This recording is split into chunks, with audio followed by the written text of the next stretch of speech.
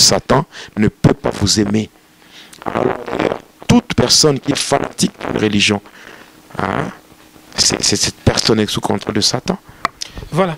Alors, euh, pasteur, revenons un peu au témoignage. Oui. Là, vous étiez en prison, bon, bah, enchaîné.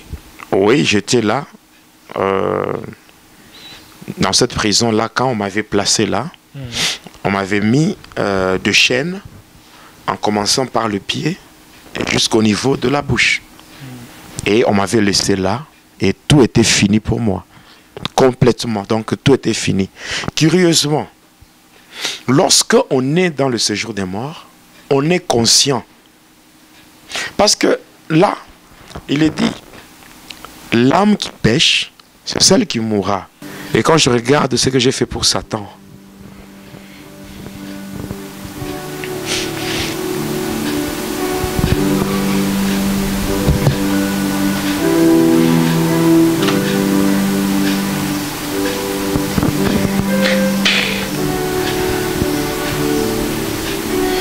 c'est juste la grâce.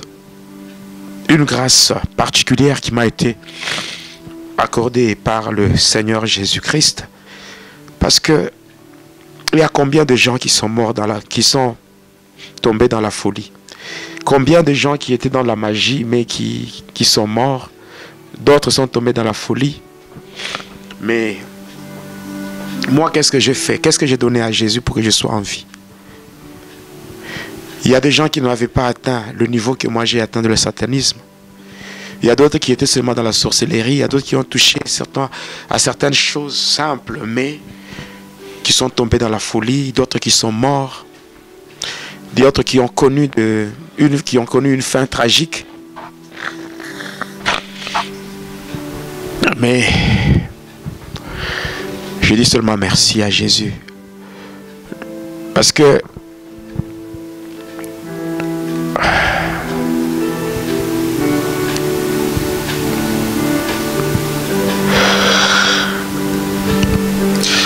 Voilà, aimable internaute, euh, aimable téléspectateur, euh, vous comprenez que c'est fort, euh, c'est fort. euh, c'est- euh, euh, lorsque vous voyez l'homme de Dieu en train de ressasser le passé pour voir ce que Dieu a fait dans sa vie. Comprenez, comprenez carrément son émotion. C'est vraiment des souvenirs euh, inoubliables pour lui, euh, ce que Jésus a fait euh, dans sa vie. Dealer. Va et Ziller, c'est l'histoire d'une vie transformée par Jésus-Christ après avoir servi le diable pendant 25 ans. Va et Dealer, c'est l'histoire du pasteur Jonas Lonkutumpala Yedidia, aujourd'hui serviteur de Dieu, jadis sataniste. Hormis le témoignage du pasteur Jonas, plusieurs thématiques seront abordées dans différents numéros de cette émission. Pour ne rien rater, abonnez-vous sur votre chaîne Jonas Lonkutumpa, la chaîne officielle. N'hésitez pas à liker la vidéo si elle vous plaît et si vous êtes nouveau sur la chaîne, n'oubliez pas de vous abonner et d'activer la notification pour ne rater aucune de nos prochaines vidéos. N'hésitez pas à liker la vidéo si elle vous plaît et si vous êtes nouveau sur la chaîne, n'oubliez pas de vous abonner et d'activer la notification pour ne rater aucune. La vie est précieuse, la vie est unique. Le sage est celui qui choisit là où il y a la vie. Aimable internaute, aimable téléspectateur, vous tous qui nous suivez de par le monde, nous vous disons bienvenue, bienvenue, bonjour, bonsoir. Ça dépend de l'heure à laquelle vous aurez à suivre cette belle émission Va et dis-leur. Va et dis-leur, cette émission des témoignages, cette émission qui vous bénit, cette émission qui reçoit l'homme de Dieu, le pasteur Jonas Lunkutumpala, Jedidia, euh, le racheté du Seigneur. Nous sommes là avec un réel plaisir parce que à chaque fois que nous sommes avec vous, nous nous sentons vraiment contents parce que vous êtes nos frères, vous êtes euh, nos frères et nous, nous vous aimons euh, par l'amour de notre Seigneur Jésus-Christ. Et nous disons merci à notre réalisateur Boni Verdic Béa qui est derrière les caméras. Merci à vous, aimables internautes. Aujourd'hui, nous allons devoir poursuivre notre témoignage. C'est le numéro 53 de, de Dealer. Le numéro 53, deuxième partie. Parce que la fois dernière, on a tourné le numéro 53. on a fait pratiquement une heure. C'était pas suffisant. On a voulu continuer aujourd'hui. Et je pense qu'aujourd'hui, on va faire deux heures du temps par la grâce des dieux. Et surtout que j'aimerais que vous puissiez dire à ceux-là qui, euh, à vos proches, que Vaille Dealer vient de commencer. Et si vous êtes en train de nous suivre, n'hésitez pas à partager cette vidéo, car dans cette émission, on a toujours dit que le bonne chose, c'est partage. Et si c'est la toute première fois, vous pouvez aussi vous abonner sur cette chaîne YouTube, Jonas Lunkutumpala, chaîne officielle. Alors nous allons sans plus tarder recevoir l'homme de Dieu, le pasteur Jonas, qui est avec nous sur ce plateau. Pasteur, euh, bonjour. Bonjour mon frère. Je pense que vous allez bien. Très bien. Voilà, on est très content de vous recevoir euh, dans cette émission Va et Dealer et on va poursuivre le numéro 53 qu'on avait laissé en suspens la fois dernière. Merci beaucoup pour euh, la parole. Euh, c'est vrai, la dernière fois, on était là, on parlait sur la première partie de notre émission, dans la première partie du numéro 53 par rapport au temps parce qu'on venait du culte. Et bon, c'était vraiment tard, mais alors on avait quand même, selon la demande qu'il y avait venant de, plusieurs euh, internautes, on était obligé de, satisfaire quand même euh, nos bien-aimés. Voilà pourquoi on avait fait une partie du numéro 53. Donc aujourd'hui, par la grâce de Dieu, nous allons devoir continuer avec la deuxième partie de ce même numéro, c'est-à-dire le numéro 53. Et avant cela, nous allons d'abord euh, lire la parole de Dieu. Donc nous allons prendre juste euh, le livre de le psaume. Allons prendre le livre des psaumes.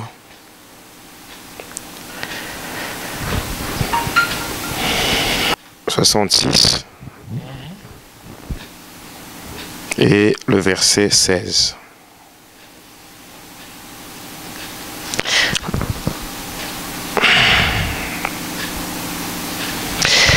La parole de Dieu dit ceci. Venez, écoutez, vous tous qui craignez Dieu, et je raconterai ce qu'il a fait à mon âme. Amen. Amen. Voilà. Euh, C'est la seule portion d'écriture que nous allons, que nous avons lue et qui va nous aider pour euh, soutenir cette émission d'aujourd'hui. Donc, va et l'heure, le numéro 53, deuxième partie. Et avant même d'aller plus loin, j'aimerais qu'on, que nous puissions recommander cette émission entre les mains du Seigneur. Entre les mains du Seigneur. Éternel notre Dieu, au nom de Jésus-Christ, nous te disons merci, toi le maître de temps des circonstances, toi le Dieu plein d'amour, toi le Dieu qui a permis que nous soyons comptés parmi le vivant. C'est par ta grâce que tu as renouvelé en nous le souffle de vie. Et c'est par ta puissance que tu as imposé ton veto devant le projet du monde de ténèbres. Alors nous te disons merci. Et en ce moment, Seigneur, nous voulons parler de ta part selon qu'il est dit à la loi et au témoignage, car si on ne parle pas ainsi, il n'y aura point d'aurore pour le peuple. Alors Seigneur, comme nous témoignons par rapport à ce qu'on a vécu dans le passé, je sais très bien que l'ennemi commun, le diable, ne sera jamais d'accord, ne sera jamais content à ce que ses œuvres soient dévoilées. D'une manière ou d'une autre, il, peut nous combattre, cherchant même à tordre ou à perturber le déroulement de cette émission.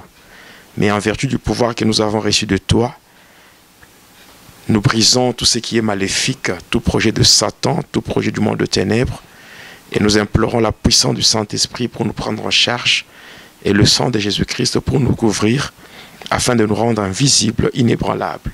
Que tous les traits enflammés de l'ennemi soient sans effet, au nom de Jésus. Que ce témoignage soit donné sous la puissance du Saint-Esprit, afin de toucher, de convaincre et de ramener à la raison ceux qui se sont égarés. Gloire te soit rendue au nom de Jésus-Christ. Amen. Amen. Donc, euh, la dernière fois, j'étais en train de, de parler sur euh, ma conversion, ma délivrance. Alors, euh, je m'étais arrêté euh, au niveau où je m'étais retrouvé emprisonné. Oui. Emprisonné dans le séjour des morts. Donc, euh, il y a eu... Et c'était déjà après votre mort? Oui, parce que la mort, bon, par rapport à la mort, c'était euh, à l'église méthodiste, Ouais. la paroisse francophone qu'on appelait Mont-Hermont, chez le pasteur Jacques Moutonde. C'est là où, quand j'étais parti pour euh, la prière de la délivrance la nuit, accompagné de ma fille Laetitia et sa mère, et aussi le frère Luc, qui était le cousin à la mère de Laetitia. Alors nous étions partis là-bas et il y a eu ce qui s'était passé. Tout cela a été relaté dans la première partie du, du numéro 53. Alors c'est ainsi qu'on m'avait pris de là, parce que lorsqu'on m'avait dit, viens, c'est l'heure du grand départ. Et par rapport à cela, je devais quitter, je devais sortir pour les rejoindre et ensemble aller jusqu'au cimetière. Et comme je l'avais expliqué, c'est que le cimetière, l'ouverture du cimetière, du monde du cimetière, comporte deux cérémonies. Il y a une première cérémonie qu'on appelle la cérémonie à tombeau, à tombeau euh, fermé. Et il y a la deuxième cérémonie, c'est la cérémonie à tombeau ouvert. Pour ce qui est de la cérémonie à tombeau, à tombeau ouvert, c'est une cérémonie lorsque on veut aller, par exemple, dans le monde spirituel souterrain ou bien le monde spirituel sous-marin. Mais lorsqu'on veut accéder au monde de cimetière, on au monde de cimetière, euh, et là, lorsqu'on veut accéder au monde de cimetière, on fait la cérémonie à tombeau fermé. Et là, on est obligé, pour ceux-là qui sont dans la magie, ceux-là qui ne- qui n'abandonnent pas, qui sont entre... Même moi, quand j'étais encore là, il était question de trouver euh, un temple qui abritait la religion catholique. Et par là, je pouvais seulement contourner trois fois, après avoir prononcé certaines incantations tirées dans le livre de messe qu'on appelle le missel après avoir contourné trois fois et après avoir sonné avec la clochette trois fois, directement, je devenais un homme invisible. Et là, je pouvais toucher la pierre appelée Pétras qui se trouve du côté droit de la sacristie. Et cela, ça me permettait directement d'aller dans le monde de, de cimetière. Alors maintenant, lorsque on fait la cérémonie à tombeau, à tombeau fermé, en faisant cette cérémonie, toutes les tombes, les croix disparaissent pour laisser place à un autre monde. Donc un monde là qui est vraiment magnifique, où on voit euh, de villas, de gratte-ciel, des buildings, toutes ces choses qui apparaissent. Voilà, voilà. Alors euh, c'est là, j'avais même expliqué ce qu'on appelle le monde cimetière, qui n'est autre qu'un monde transitoire par lequel on passe avant d'aller dans le monde astral. Or, le monde astral, lui, c'est ce qu'on appelle l'endroit où vont ceux-là qui meurent dans le péché. C'est-à-dire que ceux-là qui meurent euh, sans avoir donné leur vie à Jésus-Christ, quand ils meurent, ils vont dans le monde astral. Et le monde astral est composé de trois parties. Il y a la première partie qu'on appelle le quartier des esclaves. Hein, c'est ça, la première partie, le quartier des esclaves. Après, le quartier des esclaves, euh, là où vont tous ceux-là qui vivent dans le péché. Et ce quartier est divisé en plusieurs, euh, plusieurs avenues selon le péché, le péché dans lequel euh, la personne décédée vivait. Alors après ça vient la fournaise, hein, la fournaise de Satan. Oui, la fournaise de Satan, l'endroit où le diable euh, place tous ceux-là qui l'ont combattu durant leur vie terrestre, mais qui sont tombés dans le péché et qui n'ont pas eu le temps de se repentir.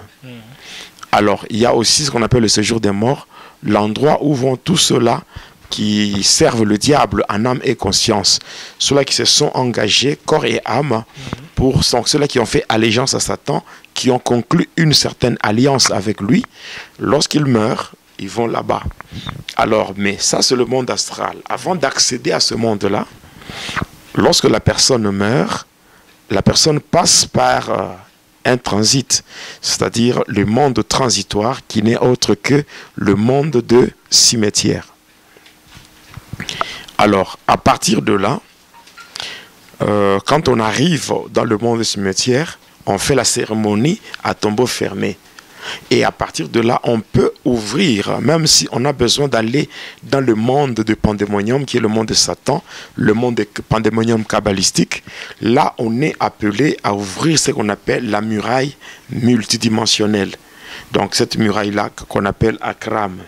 Alors dès qu'on ouvre, on va accéder à ce monde-là.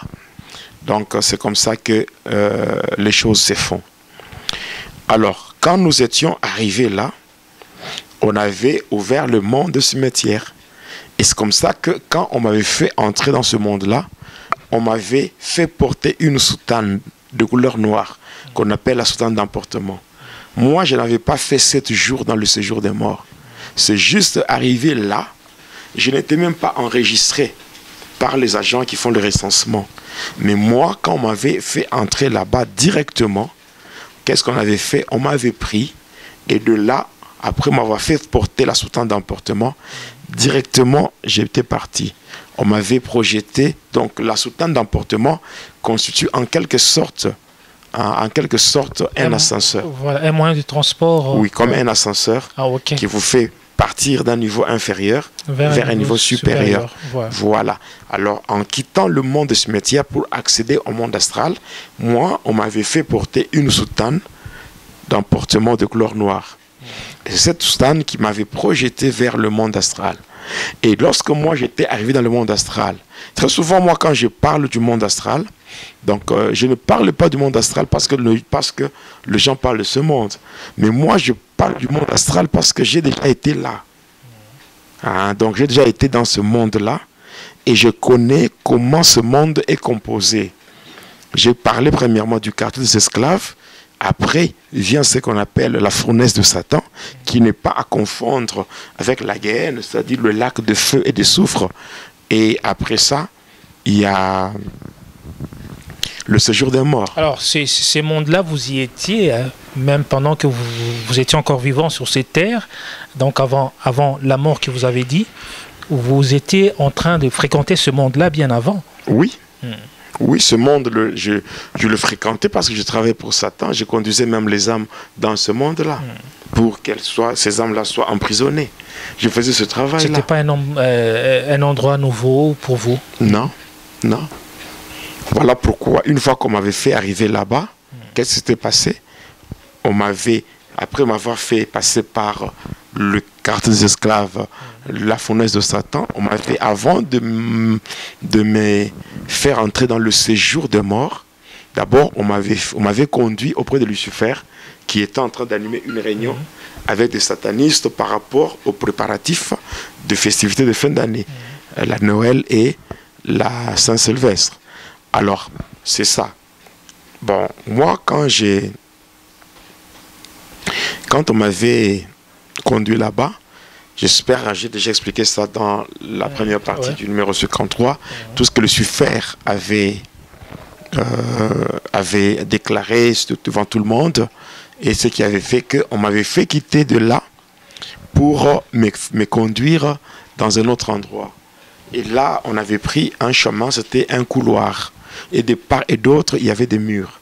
Et au fur et à mesure qu'on avançait, nous étions arrivés à un niveau où à la place des murs qui devaient être, donc ils se situaient de part et d'autre de ce couloir, mais il y avait des grilles, sous forme de sorte de grillage.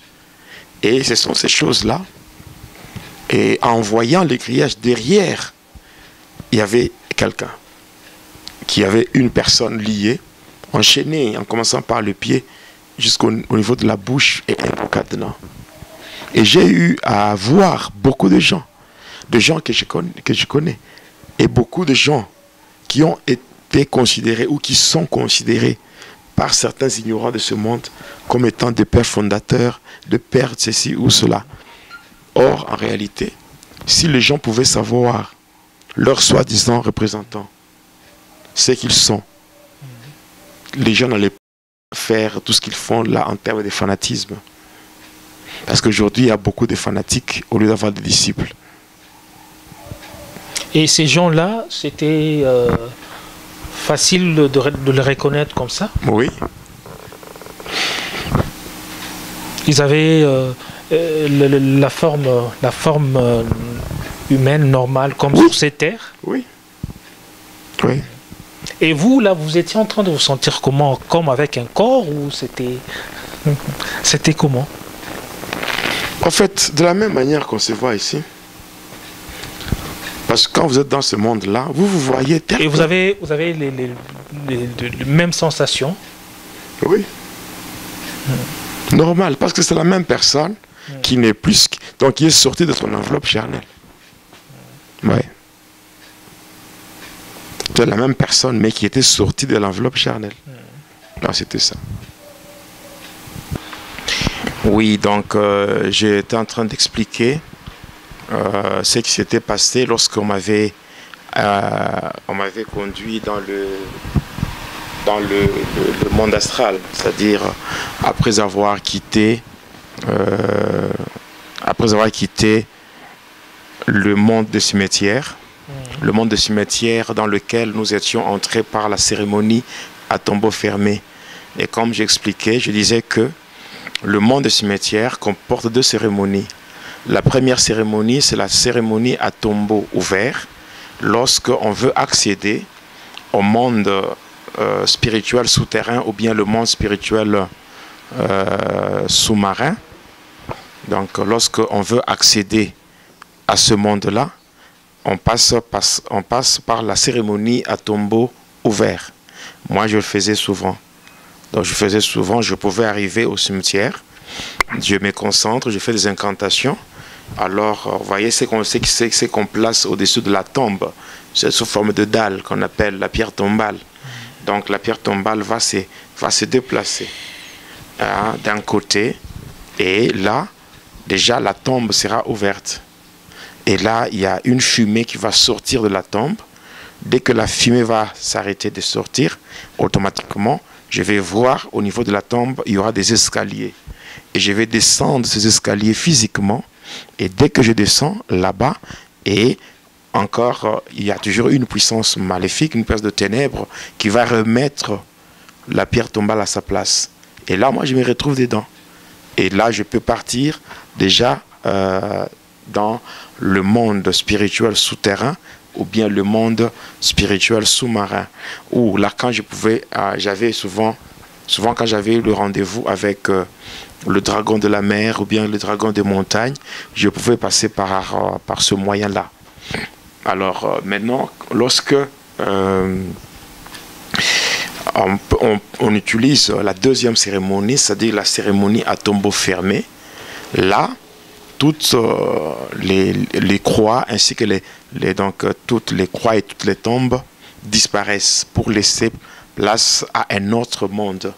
On appelle ça le monde de cimetière. Et là, quand il y a ce monde-là, automatiquement, qu'est-ce qui apparaît? Il y a maintenant des buildings, il y a de gratte-ciel de villas. Alors, c'est comme ça. Maintenant, quand une personne, une personne meurt, qu'est-ce qui se passe? Euh, lorsqu'on l'accompagne vers sa dernière demeure, c'est-à-dire au cimetière. Arrivé au cimetière, dès qu'on l'enterre, la personne sera reçue dans le monde du cimetière. Il y a des agents qui sont chargés, euh, qui, sont, qui, sont, qui ont comme mission d'enregistrer tous les nouveaux venus. Et ainsi, dans le monde du cimetière, tous les gens qui sont là-bas euh, n'ont aucune anomalie physique, aucune déformation. Même si une personne euh, de son vivant pendant le jour de sa chair. La personne était par exemple borgne ou la personne avait un handicap physique, mais de l'autre côté, toutes ces choses-là disparaissent. Toutes ces choses disparaissent et la personne devient normale. La personne, euh, peu importe euh, l'anomalie physique ou l'handicap Oui, ça disparaît. Ça disparaît totalement et la personne devient normale. Alors c'est ça, c'est ça qui se fait dans ce monde-là.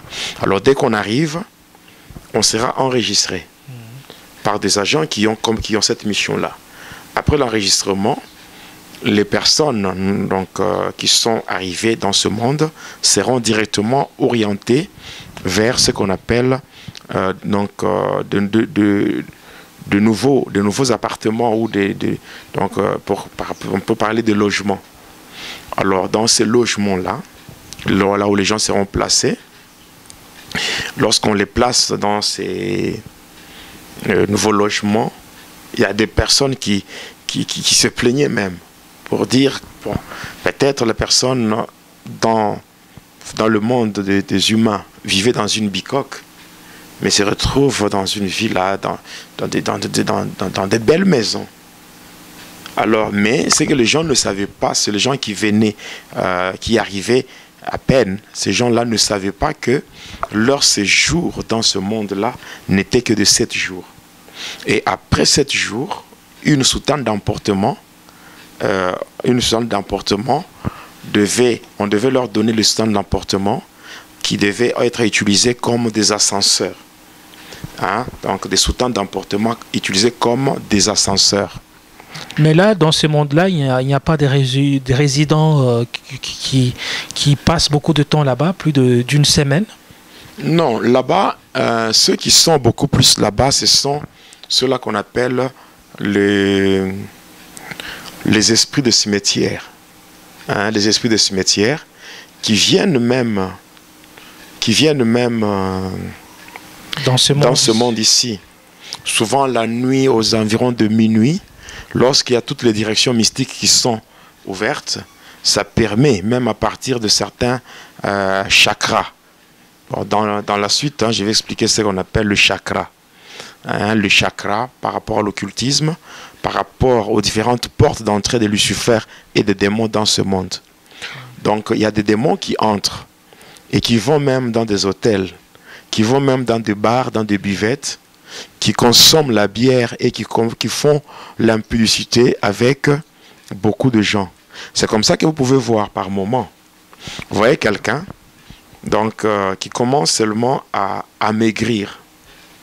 À maigrir, D'autres personnes peuvent même soupçonner que telle, est, ou telle personne est atteinte du sida. Hmm. Alors que ce n'est pas le sida. Et puis ce qu'il faut savoir, il y a aussi la maladie du sida qui vient du monde de ténèbres. Hmm. Donc le sida que vous n'avez pas contracté suite aux relations sexuelles avec euh, les humains qui sont atteints, mais juste parce que vous avez couché avec un démon. Hein, les femmes et les maris des cimetières qui viennent aussi. Ce sont ces gens-là qui habitent ce monde-là. Les femmes et les maris des cimetières, pour la plupart, ce sont des esprits qu'on appelle les démons de la sexualité. Parce que les démons de la sexualité sont répartis en plusieurs catégories. Je pense, euh, dans les jours qui vont suivre, lorsque nous allons entrer dans, la, donc, dans les détails, donc avec euh, les différentes parties qui n'ont pas encore été expliquées, nous donnerons la différence entre les différentes catégories de démons de la sexualité. Parce que quand on parle sur les démons de la sexualité, il n'y a pas seulement les, maris et les femmes de nuit. Hein? Il n'y a pas seulement ça. Parce qu'aujourd'hui, beaucoup de gens font des confusions, dans le sens que euh, quand euh, une personne fait par exemple un rêve érotique, c'est-à-dire un rêve dans lequel la personne se voit en train de consommer des relations sexuelles, n'est-ce pas? Et directement, la première des choses qui vient à l'esprit, c'est j'ai vu, j'ai été attaqué par des maris de nuit, j'ai été attaqué par des femmes de nuit. Or que ce n'est pas vraiment ça. Ça peut être le mari de nuit ou les femmes de nuit, mais ça peut aussi être autre chose. Donc d'une manière générale, on les appelle les démons de la sexualité. Donc ce sont les démons qui viennent, euh, déranger les êtres humains dans le rêve, qui viennent les agresser, hein, qui viennent les agresser. Il y a de, deux esprits hein, que nous appelons les démons de la sexualité qui viennent agresser euh, les êtres humains sexuellement dans leurs rêves. Là, nous allons, nous, pouvons citer les, il y a, les maris et les femmes, des, femmes de nuit, il y a les maris et les femmes de la sorcellerie, il y a les incubes, il y a les succubes, il y a le sirène des eaux, il y a le sirène de l'air, il y a les, les djinns, il y a aussi des fantômes, il y a l'esprit qu'on appelle l'esprit qu'on appelle euh, le sceptre de la nuit ou l'esprit Lilith. Donc tous ces esprits, ça existe. Et ces esprits-là, pour les chasser, on ne les chasse pas de la même manière. Parce que si vous chassez le de la, sexualité dans la vie d'une personne et que vous ne parvenez pas à identifier la nature de, ces, ces esprits, vous pouvez faire un combat sans précision et ça n'aura pas de résultats. Donc ça n'aura pas de résultats. Voilà. Donc euh, par rapport à votre question que vous avez posée pour savoir qui sont les habitants de, ce monde-là, le monde des cimetières. Donc il y a aussi ce qu'on appelle les, femmes sorcières et même des hommes sorciers qui travaillent dans le monde des cimetières et qui ont comme mission euh, de prendre certains aliments qui sont dans nos marchés, le marché de ce monde ici, pour créer une carence au niveau alimentaire. Donc il y a des périodes hein, où on constate une carence, hein, une carence alimentaire, et ça crée des problèmes. C'est qu'il y a des gens, les agents de ténèbres, qui travaillent dans le monde de cimetière, qui viennent acheter aussi des provisions dans ce monde. Et ça se mange de l'autre côté. Donc c'est un monde, en fait le monde dans lequel nous sommes, c'est un monde qui est un peu complexe. Donc il y a tellement beaucoup de choses. Et on peut dire qu'il y a une interconnexion entre ce monde réel avec le monde de cimetière. Oui, parce que même dans ce monde de cimetière, il y a des gens qui vont là-bas, qui prennent même des véhicules. Quelqu'un peut aller dans ce monde-là, il prend euh, une voiture qu'il va utiliser comme un taxi. Il peut aller là-bas, il prend un, un bus qu'il peut utiliser dans le transport, le transport en commun n'est-ce pas? Mais pour avoir maintenant de vrais véhicules, il faut d'abord que le véhicule, que le véhicule qu'il a pris dans ce monde-là fasse un accident ici, hein, des accidents. Quand il y a des gens qui meurent, automatiquement, lui obtient l'argent. Avec cet argent, il peut maintenant payer un véhicule normal. Vous voyez, c'est ça, c'est comme ça que les choses se font. En fait, lui fait un sacrifice. Oui. Il tue les gens. Et avec euh, les, les sons de ces gens-là oui, parce qu'il y a des véhicules que, les véhicules que les gens utilisent qui ne sont pas réellement des véhicules. Ah, oui, vous pouvez monter dans un véhicule, mais c'est dans un cercueil. Oui. Donc, quelque chose comme un cercueil, quand vous avez des yeux, vous êtes initié à l'ésotérisme, mm. vous pouvez voir réellement que ça, ce n'est pas un véhicule. Parce qu'en fait, vous savez, le monde dans lequel nous sommes, mm. c'est le fait que beaucoup de gens n'ont pas les yeux spirituels. Mm. Beaucoup de chrétiens, quand la Bible nous dit soyez spirituels, hein, donc une personne spirituelle, c'est une personne qui est dotée d'une capacité surnaturelle, c'est-à-dire au-delà de vos yeux, il y a une autre dimension que Dieu vous accorde pour vous permettre d'échapper à tout ce que l'ennemi peut vous tendre comme piège. Si par exemple vous êtes en train de marcher, il y a, certains endroits, même certains, certains magasins, où vous pouvez entrer, mais on vous chasse. Hein, vous entrez pour payer quelque chose, vous avez de l'argent normal. Mais vous voulez payer quelque chose, mais on vous chasse. C'est-à-dire que ces messieurs-là, parce qu'il y a certains endroits dont les, articles viennent du monde des ténèbres, qui sont dans des magasins. Maintenant, quand vous entrez, vous entrez et que la personne ou, je dirais, le propriétaire de ce magasin constate déjà que vous êtes spirituel il va sentir que vous allez détruire ses activités. On peut vous chasser, quelqu'un, vous voulez payer, vous voulez donner de l'argent, mais on, vous chasse, on refuse même de prendre votre argent. Vous voyez? Donc ce sont des choses qui se font dans ce monde. Ah, il faut connaître toutes ces, choses lorsqu'on est spirituel. Hein? Donc quelqu'un peut amener ici, dans ce monde, un cercueil et les gens sont dans un bus. Oh, ce n'est pas un bus, c'est un cercueil il faudra que ce soi-disant bus puisse connaître un accident. Quand les gens meurent, c'est un sacrifice. Passant par cela, Voilà, quand il y a sacrifice, il y a bénéfice. N'est-ce pas? On il y a un principe qui dit il n'y a jamais eu de sacrifice sans bénéfice. Alors quand il fait le sacrifice, il gagne. Avec ce qu'il aura, il peut maintenant avoir de l'argent normal. Donc, il faut pas l'argent qui, qui, vient du jour du monde de ténèbres, mais il peut se payer maintenant un véhicule normal. Donc, ce n'est pas étonnant de voir des accidents qui se font, beaucoup beaucoup. Donc, il y a beaucoup d'accidents qui se font euh, des mois, des jours, tout ça, on constate cela. Mais pour la plupart, ce sont les agents de ténèbres qui font ça. Voilà pourquoi quand vous quittez votre maison, vous voulez prendre un transport en commun, vous voulez prendre, je ne sais pas, un bus, un taxi, priez. Vous priez que le Seigneur vous fasse grâce. Sinon, vous risquez de tomber dans un piège déjà planifié par les agents de ténèbres. Là, c'est toujours en rapport avec le monde des cimetières. Parce que même quand j'étais encore, encore dans le, donc dans, sous le contrôle de Satan, là, lorsque je n'avais pas encore euh, renoncé à Satan, lorsque je partais dans le monde du cimetière, parce que c'est là, que c'est là, où c'est là où je mangeais. Il faut se poser la question. Cette nourriture-là qu'on mangeait là-bas, ça venait d'où? Mais c'est la nourriture de ce monde ici que les, les esprits des cimetières. Alors ces mondes, euh, euh, pasteur, c'est tellement évolué ou euh, c'est vraiment comme ces mondes réels où c'est. Mais, mais je vous Il y a des gens qui y habitent, des gens, non, des personnes. allez seulement, allez seulement au cimetière. La nuit. Il y a même certains policiers qui montent la garde au cimetière. Comment voulez-vous qu'un policier qui doit monter la garde au cimetière peut corrompre son chef pour qu'il soit affecté au cimetière? Bon, Est-ce que vous trouvez normal? Non. Quelqu'un bon, quelqu'un qui est là comme un policier, un agent, un agent mais euh, il dit, ok, euh, il va chercher de l'argent pour corrompre son chef afin qu'il soit affecté au cimetière. C'est-à-dire que qu'il soit en mesure de monter la garde au cimetière. Pourquoi ça? Parce que les gens qui montent la garde au cimetière, ils gagnent beaucoup d'argent. C'est-à-dire que tous les satanistes, même les pasteurs qui entrent dans le monde du cimetière, pour prendre des Bibles magnétisées, hein, tu sais ce qu'on appelle une Bible magnétisée? Non.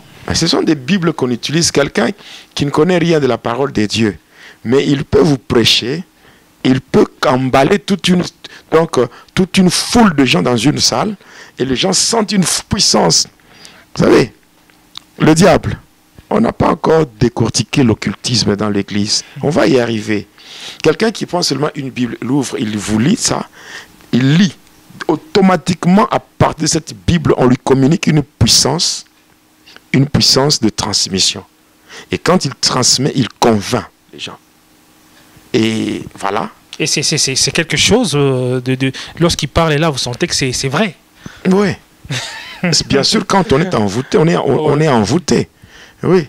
Parce qu'il y a des choses que le diable veut copier à tout prix pour faire passer comme étant le vrai. Ah, Parce que la Bible dit quoi? C'est poussé par l'Esprit de Dieu que les hommes ont parlé de la part de Dieu. N'est-ce pas?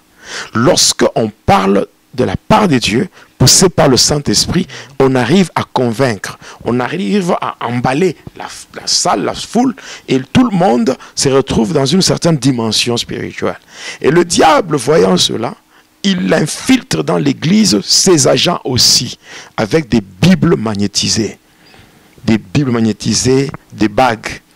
Hein? Il y a certaines bagues que certains pasteurs portent Hein, il y a certaines choses que vous allez voir, un pasteur, il a, il a son alliance à la main, hein, donc au doigt. Mais en dehors de ça, vous allez le voir, le voir avec une autre bague là quelque part. Mhm. Hein. Toutes ces choses-là, on les prend dans le monde du cimetière. Combien de pasteurs venaient chez moi pour chercher toutes ces choses? Donc on aura le temps de parler de ça. Donc comment faire les appels des fonds, comment faire ceci, ceci. Donc, bref, il y a des loups ravisseurs qui se sont infiltrés dans la bergerie. Oui, il y en a beaucoup. Mais alors là, c'est juste pour répondre par rapport à, votre question. Donc une question liée aux activités mm. qui se font dans le monde du cimetière et aussi qui sont ces gens qui habitent là-bas. Et c'est organisé comme. C'est tellement y, a, organisé. il, y a, il y a même des chefs là-bas. Il y a, il y a- Tout- il y a- donc c'est- tout un monde, le monde cimetière. Mais quand quelqu'un meurt, on, on le reçoit pour un séjour de sept jours. Et après les sept jours, on lui donne, on lui fait porter une soutane d'emportement.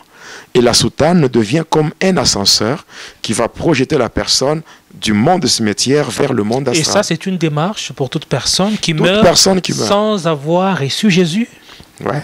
Oui. Ouais, toute personne qui meurt sans avoir reçu Jésus. Parce qu'en fait, une personne qui meurt étant, chrétienne, donc une personne qui a donné sa vie à Jésus, mais cette personne n'ira pas dans, le- le monde des cimetières. Pour faire quoi? La Bible déclare dans Apocalypse 14, 13, Heureux dès à présent les morts qui meurent dans le Seigneur, afin qu'ils se reposent de leurs travaux et leurs œuvres les suivent. C'est simple. Mais ceux-là qui se retrouvent dans le monde des cimetières pour passer un séjour de sept jours, ce sont ceux-là qui sont morts loin de Jésus, ceux-là qui n'ont pas donné leur vie à Jésus. Ils vont avoir une joie éphémère qui n'aura donc une joie éphémère, c'est-à-dire une joie d'une courte durée. Et cette durée n'est que donc euh, de sept jours. Après les sept jours, directement, on reçoit une soutane d'emportement. Et la soutane d'emportement prend la personne pour la projeter vers le monde astral. Alors si c'est une personne qui n'avait pas touché au fétiche, mais qui vivait dans le péché, oui, la personne sera maintenant conduite dans ce qu'on appelle le quartier des esclaves. Et après cela, si c'est une personne qui était chrétienne, qui a combattu le diable par de fortes prières agressives, de prières, de combats durant son séjour terrestre, mais qui a fini par tomber dans le péché, mais qui n'a pas pris le temps de se repentir pour se réconcilier avec Dieu. Si cette personne tombe dans le main de Satan et que la personne meurt, directement c'est la fournaise, la fournaise de Satan. Et après, maintenant, si c'est une personne qui avait fait alliance avec, qui avait fait alliance avec Satan, qui avait fait allégeance à Satan, passant par, euh, par des pratiques fétichistes, par la magie, par la sorcellerie et par autre chose, automatiquement, c'est le séjour des morts, là où la personne va se retrouver dans une cellule enchaînée, en commençant par le pied jusqu'au niveau de la bouche au cadenas. Et c'est comme ça que ça se passe. Moi, lorsque on m'avait fait entrer dans le, dans le, monde cimetière, on ne m'avait pas donné un logement. Parce que moi, on m'avait pris, donc euh, on m'avait pris de ce monde ici pour que je sois puni et emprisonné définitivement. Donc c'était mon sort, qui, donc le sort que le diable avait réservé pour moi. Alors c'est comme ça que lorsque on m'avait pris, on m'avait pris, on m'avait fait porter la soutane d'emportement de couleur noire. Et avec cette soutane, je m'étais retrouvé projeté vers le monde astral. Arrivé là, j'étais passé d'abord par le quartier des esclaves. Donc les choses que j'explique, ce sont des choses que j'avais vues de mes propres yeux. Après, je suis passé à la fournaise de Satan. Après la fournaise de Satan, on m'avait conduit dans une salle où Lucifer, Satan lui-même, tenait une réunion pour préparer les festivités de fin d'année, c'est-à-dire la Noël et la Saint-Sylvestre. Et tout ça pour voir comment le diable devait gagner ou capturer beaucoup d'âmes dans son, dans son camp. Et c'est comme ça qu'on m'avait conduit. J'avais expliqué ça dans le numéro précédent, donc dans donc la, la partie précédente. Après, on m'avait maintenant fait sortir de là. On m'avait lié. On m'avait fait sortir pour me conduire dans le séjour des morts. Arrivé dans le séjour des morts, là, qu'est-ce qui s'était passé? On m'a mené maintenant dans la prison. Alors, on suivait euh, un couloir. De part et d'autre, il y avait comme des murs. Et pendant qu'on avançait, je voyais, il y avait des portes. Sur chaque porte, il y avait des grilles. Donc, comme de, on peut dire des grillages qui servaient des portes. Et à l'intérieur de chaque, de chaque cellule, je voyais de mes propres yeux, je voyais de mes propres yeux des, gens avec des chaînes. Hein, chaînes en commençant par le pied jusqu'au niveau de la bouche et un gros cadenas. Et moi, avec moi, on avançait toujours. Et je voyais les gens, je pouvais même les identifier. Voyez, frère dit, moi j'ai toujours dit, tel que je suis, je n'ai aucune raison de dire la donc euh, fait, je n'ai aucune raison de, je n'ai aucune raison de de perdre mon temps en, en, en disant le mensonge hein? donc euh, tel que je suis je connais le monde dans lequel j'ai vécu. C'est un monde un peu complexe un monde compliqué. Dès que le diable retrouve sa sémence en vous automatiquement le diable vous détruit moi je dis bien j'étais dans ce monde-là et j'ai vu.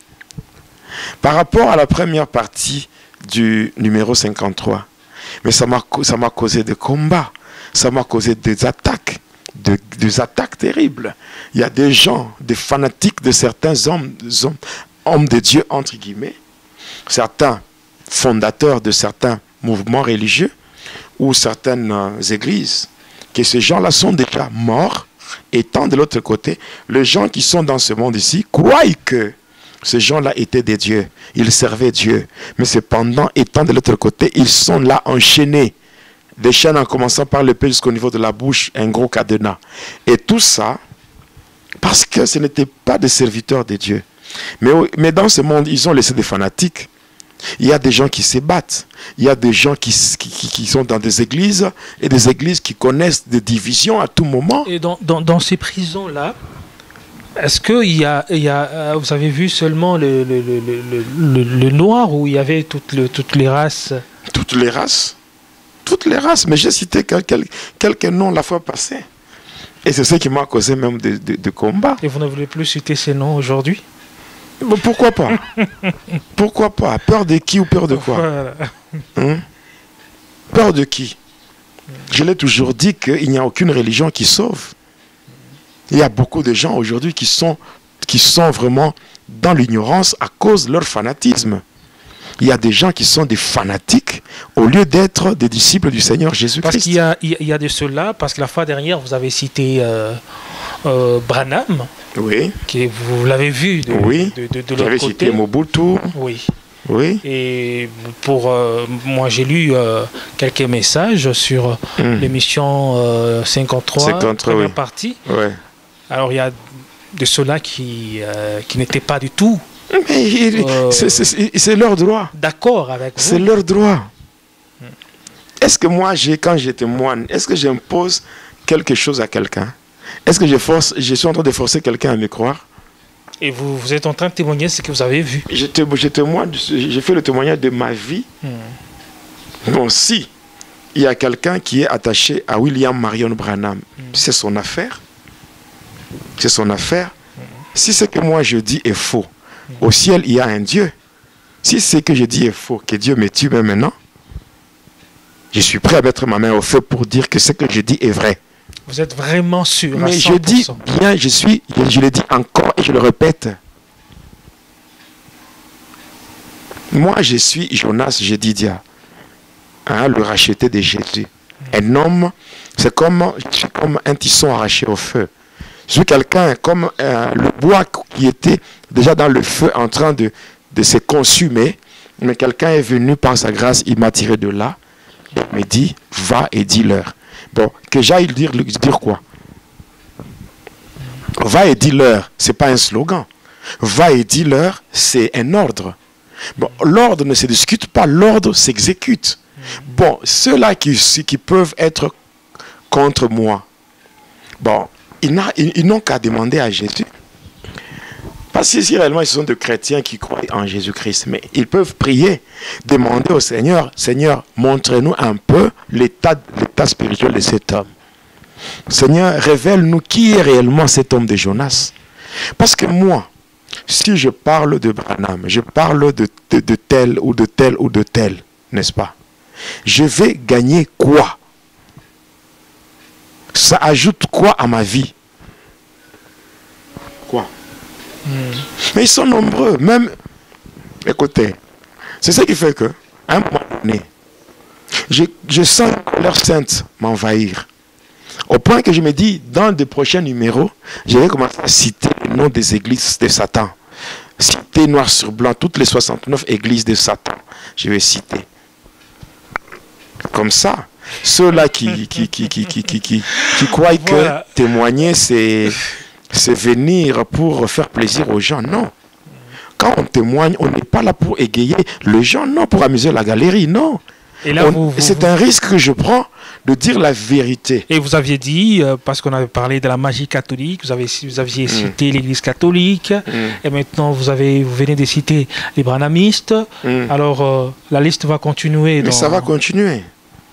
Le, le mouniste, les antoinistes, les francs-maçons, euh, les gens qui sont dans la Kabbale, l'ordre de Melchisedec, les mormons, Église de Jésus-Christ de Saint des derniers jours, le témoin de Jéhovah avec euh, le mormon avec euh, Joseph Smith. Hein, Joseph Smith avec les, témoins de Jéhovah avec Charles Thèse Russell. Mais ce sont des agents de ténèbres de, de Satan, non?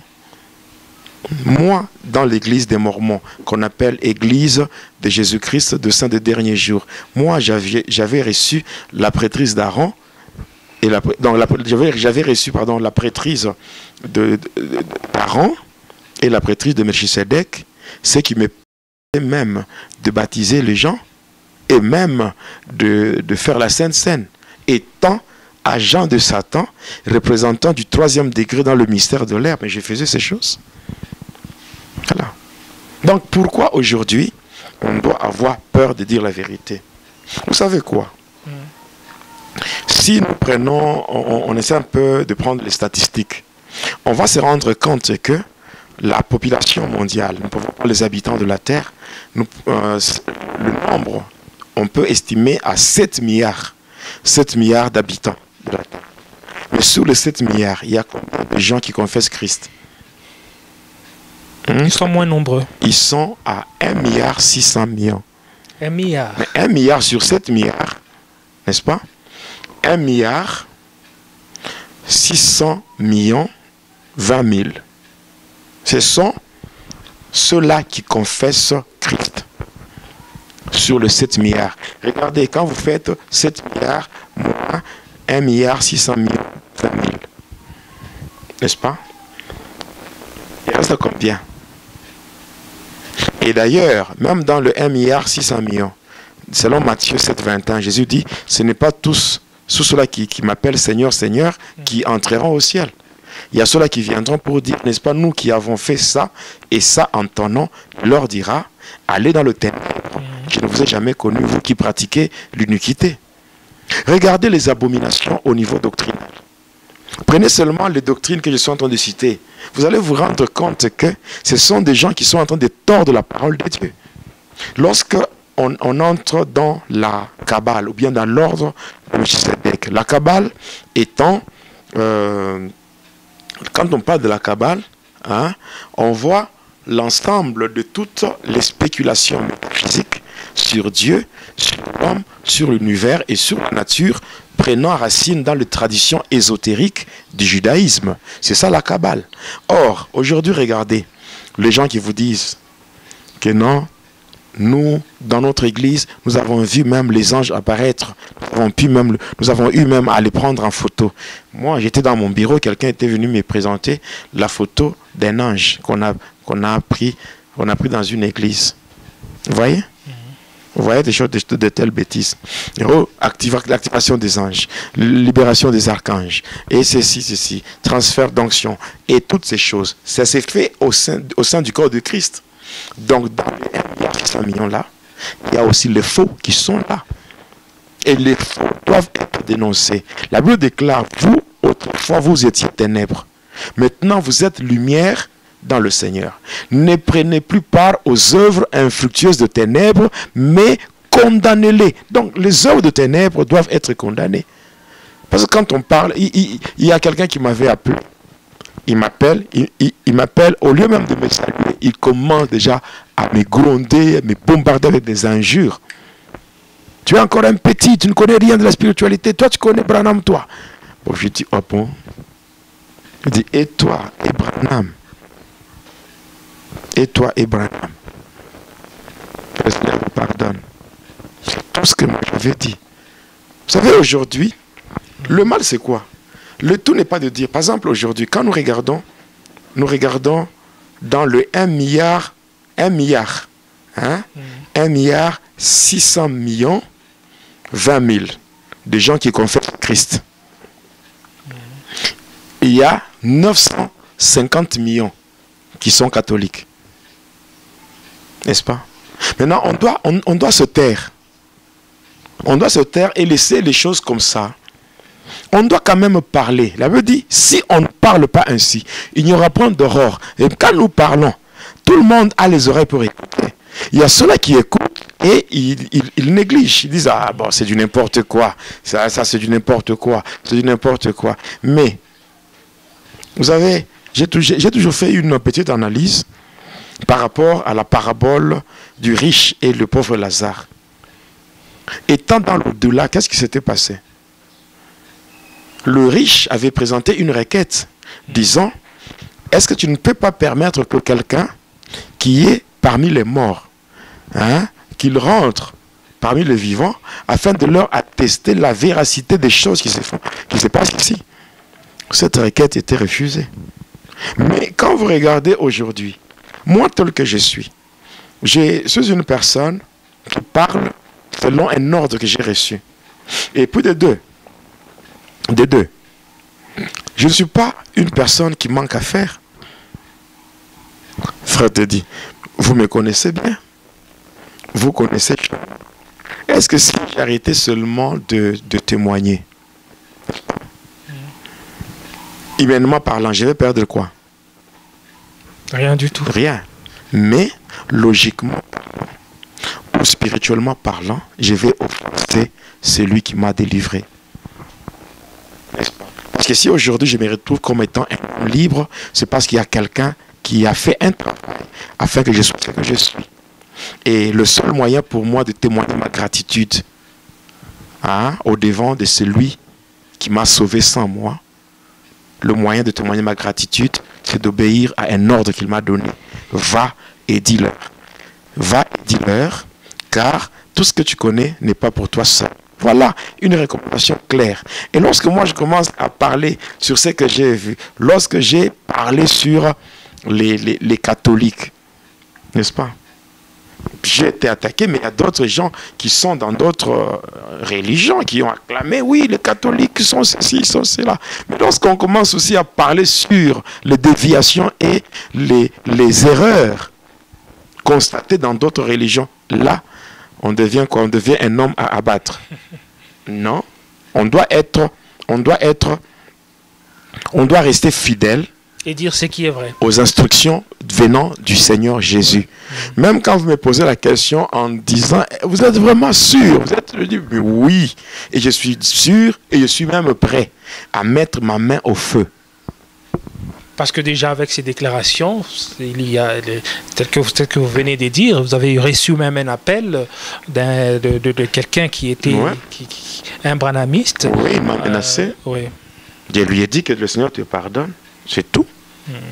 C'est tout. Parce qu'au fait, tout, dans tout ce que nous faisons, la dit, tout ce que nous faisons, nous devons savoir qu'au final, il y aura un jugement. Est-ce que moi, je peux prendre seulement le risque de mettre mon âme en danger comme ça pour dire des choses qui, qui n'existent pas? Pour gagner quoi? Pour gagner quoi? Quand je témoigne comme ça, frère, je suis payé par qui? Hmm, À part la grâce que je reçois chaque matin de la part du Seigneur Jésus-Christ. Mais qui me paye? Je ne manque pas à faire.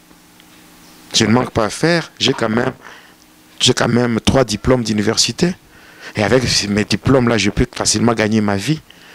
Mais si je fais ce que je fais, c'est parce que je dois obéir à celui qui m'a sauvé. Il m'a dit, va et dis-leur. Et ce qui est vrai, le Seigneur Jésus lui-même, pendant, pendant le jour de sa chair, n'est-ce pas? Quand il était sur terre, avec la vérité qu'il était en train de dire, il n'était pas un homme à abattre. Et au final, ce qui lui est arrivé, c'est quoi? Il a été livré. Après l'avoir livré, il a été crucifié. Il est, Jésus est mort à cause de quoi? Il est mort à cause de son message. Son message c'était quoi? La vérité. Lorsque vous parlez la vérité, la vérité, le monde ici qui est sous contrôle de Satan ne peut pas vous aimer. Alors, toute personne qui est fanatique d'une religion, hein, c'est cette personne est sous contrôle de Satan.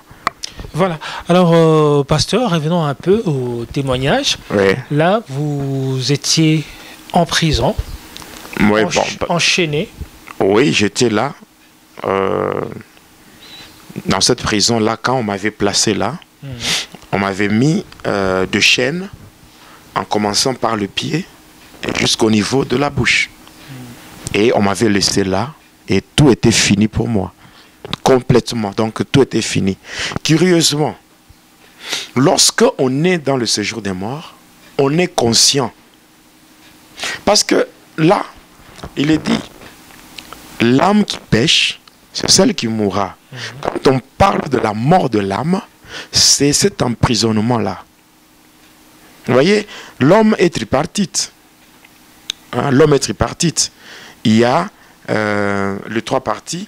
Il y a, il y a aussi un mystère que je parlerai, j'expliquerai plus, plus tard. C'est par rapport au cordon d'argent. Hein, le cordon d'argent. Dès que ça se coupe, c'est fini. Et là, je vais expliquer ça dans d'autres émissions. Le cordon d'argent. Oui, le cordon d'argent, ça existe. Même vous, vous l'avez. Le cordon d'argent. Ça sert à quoi? Mais je vais expliquer, parce que si, si, si on parle de ça Bon, aujourd'hui, En fait, le fait de- d'en parler, déjà, ça, ça nous pousse à connaître. vous allez comprendre ça. Hein, lorsque les trois, les trois composantes de l'être humain commencent à se séparer. Hein, donc le corps, l'esprit et l'âme. Voilà. Étant là-bas, j'étais conscient de tout ce que j'avais fait de mon vivant sur terre. Et, et- et là, une question. En se retrouvant là-bas, vous étiez esprit, vous étiez âme, vous étiez corps. C'est l'âme là-bas. Là, c'est l'âme. Ouais. L'âme qui pêche, c'est celle qui mourra. Et l'esprit, à ce temps-là? C'est pour cela que je vous ai dit que je vais vous expliquer Ah, ce qu'on appelle le mystère du Pour, cordon. pour qu'on puisse mieux le cordon d'argent. Oui, parce que beaucoup de gens, d'ailleurs, il y a des gens qui, qui font la confusion entre l'âme et l'esprit, n'est-ce pas? Bien sûr, beaucoup de gens maîtrisent bien le corps, parce qu'on considère cela comme étant une enveloppe, une enveloppe charnelle qui abrite l'âme Et et, l'esprit.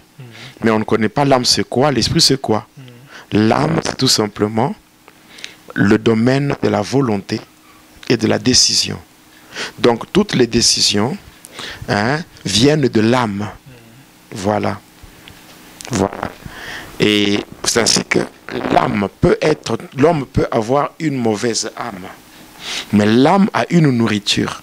La nourriture de l'âme, c'est la parole de Dieu. Chaque fois qu'on prêche la parole, on est en train de nourrir l'âme. Lorsque l'homme commence à marcher selon la parole de Dieu, c'est là que l'Esprit de Dieu maintenant intervient. Et l'Esprit de Dieu va maintenant prendre en charge l'esprit de l'homme. Il y aura une sorte de symbiose spirituelle. Là, on dit, c'est lui qui s'attache au Seigneur, il est avec lui un même esprit. Donc, je pense que j'aurai à parler de ça prochainement. C'est c'est tout un enseignement là-bas. Voilà. Alors, moi, j'étais là, dans le séjour des morts, où dans ma cellule, il y avait une obscurité totale. Donc, c'était dans le noir. Donc, c'était vraiment dans le noir. Et là, euh, j'étais conscient. Je pouvais même me rappeler. Vous savez, la seule chose que les morts ne peuvent pas faire, c'est exercer un ministère en faveur. Vous voyez? La Bible dit, euh, un peuple ne consultera-t-il pas son Dieu? S'adressera-t-il aux morts en faveur des vivants? Donc là, quand vous prenez Ésaïe 8, Ésaïe 8, verset 19, ne consultera-t-il pas son Dieu? S'adressera-t-il aux morts en faveur des vivants?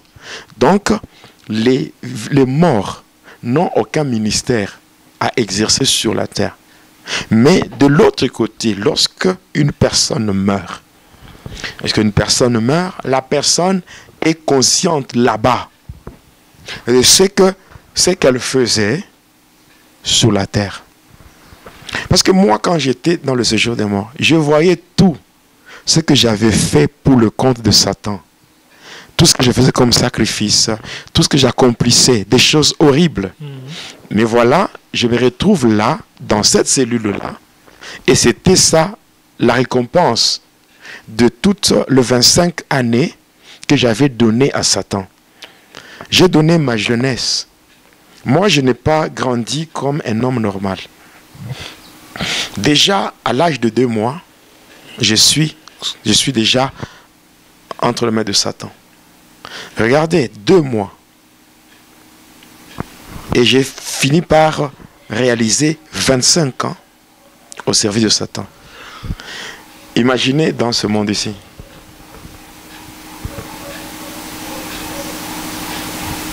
Quelqu'un qui travaille dans une entreprise pendant 25 ans. Et au bout de ces 25 ans, on le met en prison.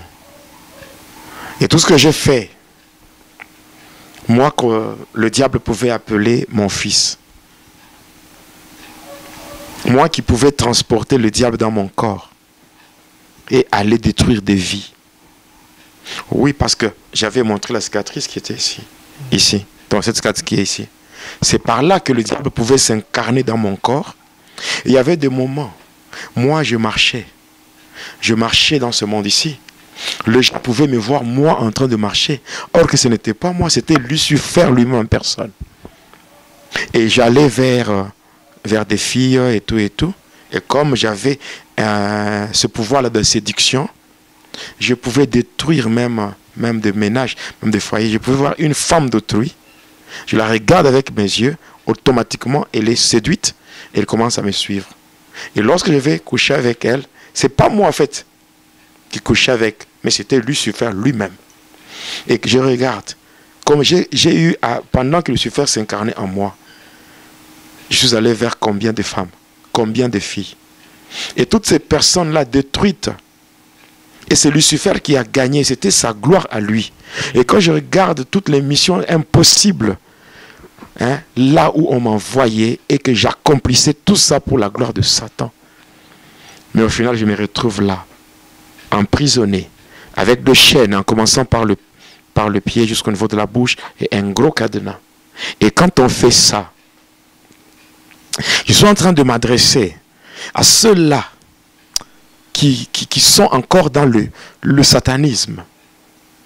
Je suis en train de dire à ceux-là qui servent encore le diable, ou ceux-là qui ont besoin d'aller contracter, je ne sais pas, de pacte avec Satan.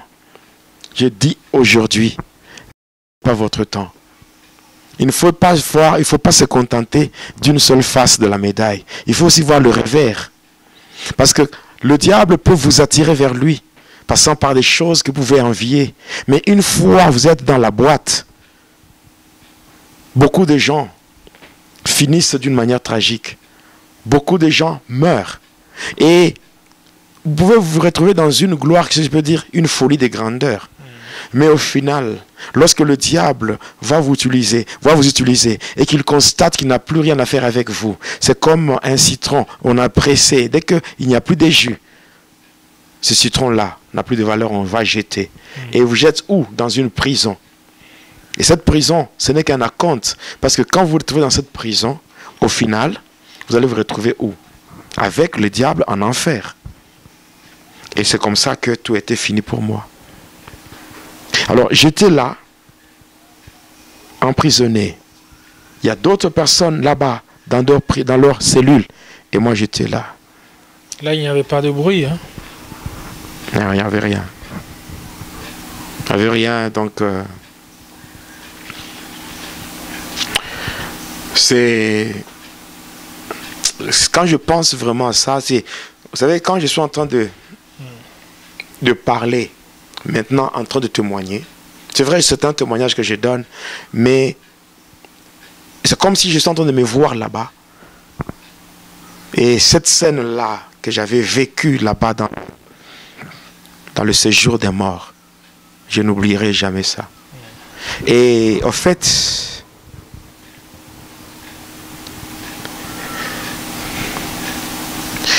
quand je pense à ça, je n'abandonnerai jamais le Seigneur. Je ne me séparerai jamais de Jésus. Parce que, en fait, je ne sais pas quoi dire. Ça, ça, ça, me touche tellement. Parce que pendant que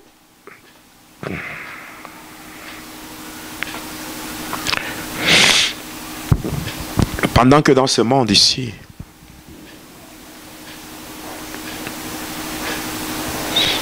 personne ne pouvait venir à mon secours. Les gens qui étaient restés avec mon cadavre ne pouvaient rien faire pour moi. Même mon père biologique, même, même personne, personne. Et là, j'étais seul dans cette cellule-là. Mais, étant seul, qu'est-ce qui va se passer? Il y avait une obscurité totale. Mais, tout d'un coup, je ne sais pas comment expliquer ça. Tout d'un coup, je, je vais voir une forte lumière. Une forte lumière dans ma cellule. J'étais toujours là avec mes chaînes et le cadenas, mais une forte lumière dans ma cellule. Ce qui est un peu, euh, un peu curieux, c'est le fait de constater que là, dans le séjour des morts, il y avait une obscurité totale. Mais il y avait une forte lumière dans ma cellule. Or, là-bas, il n'y avait pas que ma cellule. Il y avait plusieurs cellules de gens qui étaient emprisonnés avant moi. Mais, à ma grande surprise, toutes les cellules étaient restées dans le noir. Mais uniquement la cellule où j'étais était éclairée. Une forte lumière.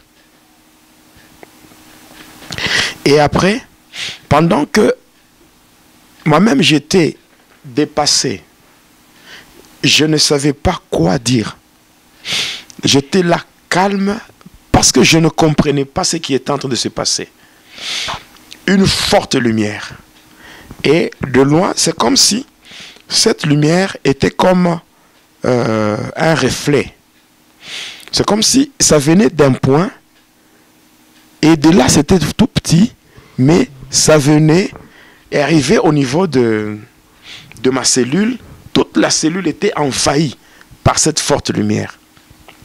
Et c'est comme ça que de loin, quand je regardais d'où venait cette lumière, c'est là que je voyais un homme. Et j'avais vu un homme. Cet homme venait lentement. Il marchait et il venait. Il venait lentement, mais sûrement. Il venait tout en suivant cette lumière. Et cette lumière, c'est cet homme-là qui venait, qui était au fait cette lumière. Cette lumière qui était dans le monde. Et le monde ne l'a point connue. Cette même lumière, elle est allée chez le sien. Mais le sien ne l'ont pas reçue. Mais à tous ceux qui l'ont reçu et qui croient en son nom, cette lumière leur donne le pouvoir de devenir enfants de Dieu. Et cette lumière, c'est le Seigneur Jésus-Christ. Amen. Et je voyais cet homme qui venait lentement. La fois passée, quand j'étais en train de parler, j'avais dit ceci. Lorsqu'on m'avait fait sortir de cette salle pour me conduire dans le, le séjour des morts, nous étions arrivés à un endroit, il y avait un trou. Et là, il y avait le feu, il y avait des flammes de feu. Alors on avait contourné, on avait contourné ces flammes de feu-là, on avait contourné, puis on était passé. Parce que juste après ces, flammes, derrière, c'est là où il y avait la cellule où, dans laquelle on m'avait placé. Mais cet homme, quand il venait, arrivé à ce niveau-là, là où nous avions contourné, au lieu de contourner, lui, il marchait, même sur le feu. Il marchait sur le feu. Quand je, j'ai eu ma délivrance et que j'ai eu la révélation de la parole de Dieu, j'ai compris que lui-même, il est un feu dévorant. Alors, nous, on avait contourné, mais lui, le feu dévorant, je l'avais vu marcher sur le feu. Et quand il était arrivé, après avoir marché sur ce feu, il était arrivé là où j'étais. devant ma cellule et il me pointe son doigt. Là, quand il m'avait pointé son doigt comme ça, en fait, il n'avait rien dit. Même pas un seul mot. Et quand je le regardais, donc, euh, c'était une forte lumière au point que je ne pouvais même pas décrire son visage pour dire que non, il était comme ça, voici son visage, comme les histoires qu'on représente ici dans ce monde. On, donne des photos, on dit, ça c'est la photo de Jésus, ça c'est la photo de Jésus. En tout cas, ce n'était pas ce que moi j'avais vu. Donc, je ne pouvais pas vraiment décrire son visage. Donc vous n'avez même pas une idée de, l'image là. C'était tellement, c'était plus la lumière. C'était très fort. Et il me pointe son doigt comme ça, juste avec son doigt, le chêne, le, et le chêne et le cadenas, tout s'était brisé. Et je le regardais comme ça, mhm. il me... Et quand j'avais saisi sa main, et c'est comme ça qu'il m'avait fait sortir il m'avait tenu à la main et m'avait fait sortir de la cellule. Et quand il m'avait fait sortir de la cellule, il m'avait tenu à la main comme ça et on sortait en suivant ce couloir-là. Arrivé là où il y avait le feu, le feu que nous avions contourné avec les démons. Mais au lieu de contourner, comme il me tenait à la main, ensemble avec lui, on avait marché sur ce feu-là et on, avançait. Je me suis toujours posé la question, Lorsque j'étais dans cette cellule, c'est un monde que le diable contrôle. Mais je me dis toujours, je me pose la question, lorsque Jésus était venu là, où était le diable? Où étaient même les démons? C'est pour cela que, en, en, prenant la parole de Dieu, en me plongeant dans la révélation de la parole de Dieu, je comprends que le diable, ce n'est pas un lion. Amen. Le lion, le véritable lion de la tribu de Judas, c'est Jésus. Jésus, on ne dit pas, il est comme un lion. Jésus, il est le lion.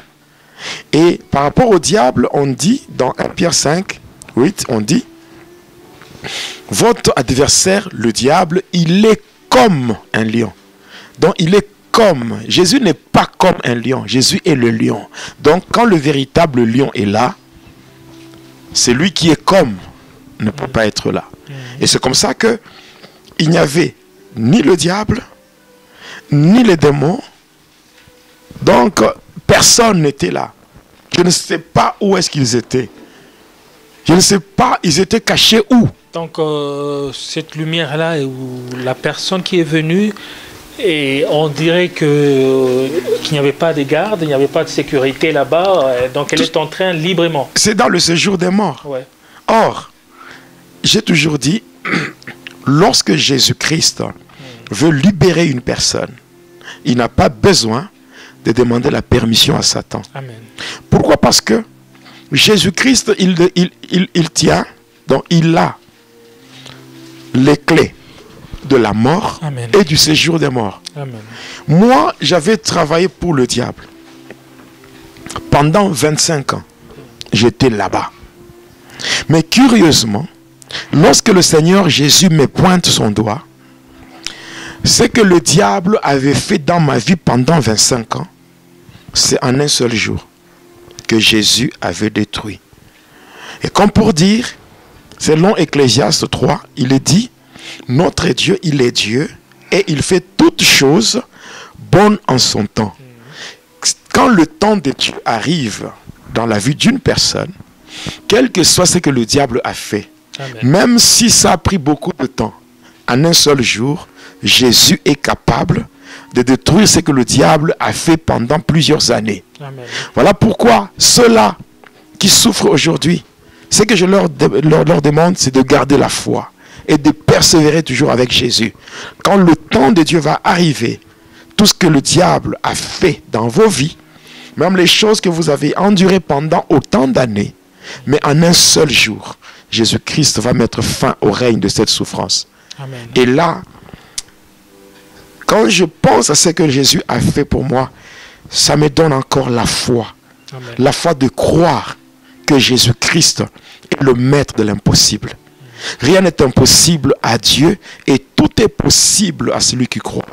Et sur le champ, pasteur, vous avez, déjà- vous avez su directement que c'était Jésus? Oui. Parce que lorsque on avançait avec lui, là, il ne me disait rien. Il me disait rien. Alors, pendant qu'on avançait dans le séjour des morts, nous sommes arrivés à un endroit. Il me dit, regarde. Il parle comme ça, regarde. Je regarde, je vois des cellules qui étaient vides. Il n'y avait personne dans ces cellules-là. Et puis il me dit, on, on- avance. Pendant qu'on avançait avec lui, nous arrivons à un endroit, il dit, regarde, je vois des cellules avec des gens enchaînés, le chêne placé à partir de pied jusqu'au niveau de la bouche et un gros cadenas. Je vois beaucoup de gens. Il me dit encore, regarde bien. Je regarde, je regarde.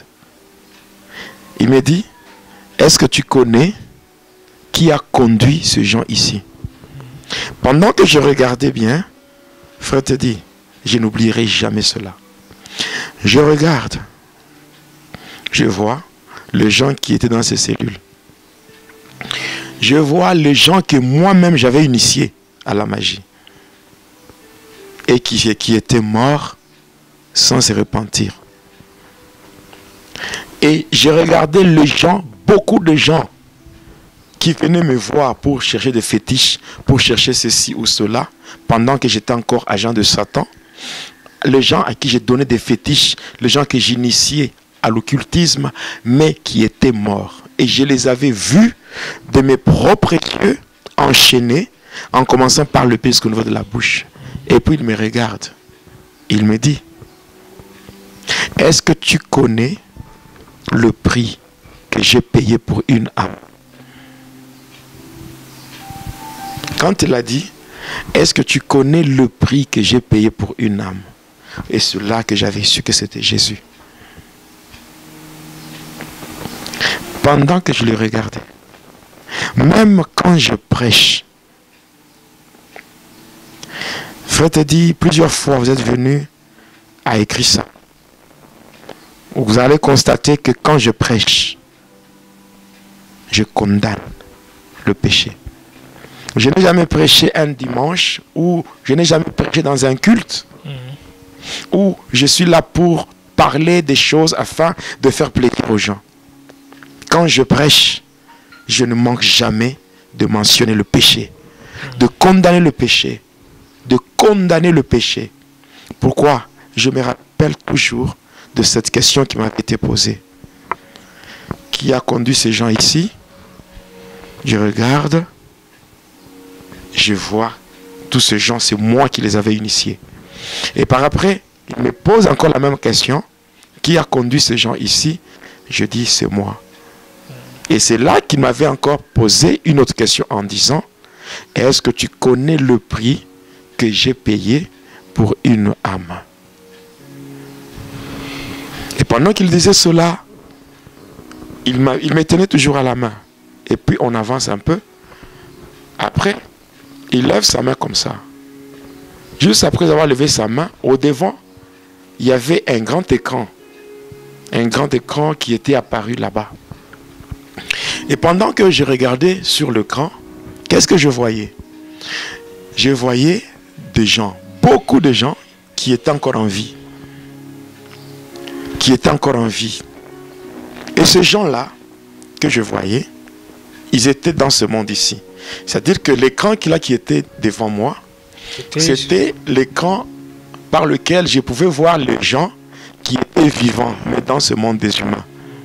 Et tous ces gens-là que je voyais, ce sont des gens à qui j'avais donné des fétiches, qui n'étaient pas encore morts. Et c'est comme ça qu'il me dit, tu vois tous ces ce sont des gens que toi, que tu as, que tu, des gens que tu as amenés à Satan. Tu vois les cellules que nous avons laissées vides. Ces cellules-là sont réservées à ces gens. Quand ils vont mourir, c'est là où ils iront. Et puis il me dit, ce que maintenant je te demande de faire, c'est de rentrer pour parler à ces gens afin d'abandonner, pour qu'ils n'aillent pas là-bas. Donc mon témoignage à moi, quand je suis revenu pour témoigner, c'est pas pour euh, épater les gens. Je dis, c'est pas pour épater les gens, ce n'est pas pour euh,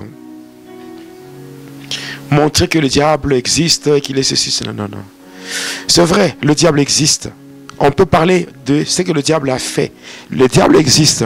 Mais quand moi je témoigne, je montre qui est le diable. Mais je dis toujours, quelle que soit l'existence du diable, c'est lui qui a donné sa vie à Jésus. C'est lui qui est attaché au Seigneur. Prendra toujours les décisions sur les œuvres de ténèbres. Amen. Il aura toujours la supériorité sur le diable. Parce que lorsqu'on est attaché au Seigneur, on marche selon les ordonnances de Dieu, on vit selon les préceptes de Dieu. Selon qu'il est dit dans Deutéronome 28, l'Éternel vous donnera la supériorité sur toutes les nations de la terre.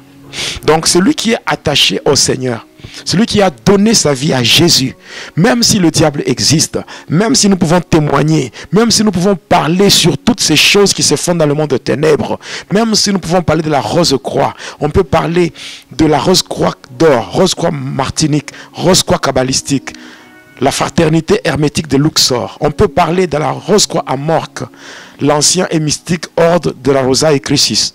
On peut parler de toutes les sept fraternités rosicruciennes. On peut parler de Maïkari, on peut parler de l'Ekankar, on peut parler de la Kabbale, de l'ordre de Melchisedec, on peut parler de toutes ces choses, même si on parle de ces choses avec tous les détails possibles. Mais c'est lui qui est attaché à Jésus, c'est lui qui marche avec Jésus prendra toujours les déçus. Comme le Seigneur lui-même le disait dans Luc 10, en disant, je voyais le diable, Satan tomber du ciel comme un éclair. Mais voici, voici, je vous ai donné le pouvoir de marcher sur les serpents, les scorpions et sur toute la puissance de l'ennemi et sachez que rien ne peut vous nuire. Donc, moi, quand je témoigne, je suis là comme un gagneur d'âme. À chaque fois, pasteur, parce que c'est la c'est pas la première fois parce qu'une fois au culte bon même plusieurs fois lorsque je vous entends parler de ce que vous avez vu de l'autre côté et de la manière dont Jésus-Christ vous avez tiré de, là je vous vois toujours euh, verser les larmes. Donc c'est vraiment un, un, souvenir très fort pour vous. Oui. En fait j'ai je ne pensais pas, je ne croyais pas que je pouvais être encore en vie. Et quand je regarde ce que j'ai fait pour Satan,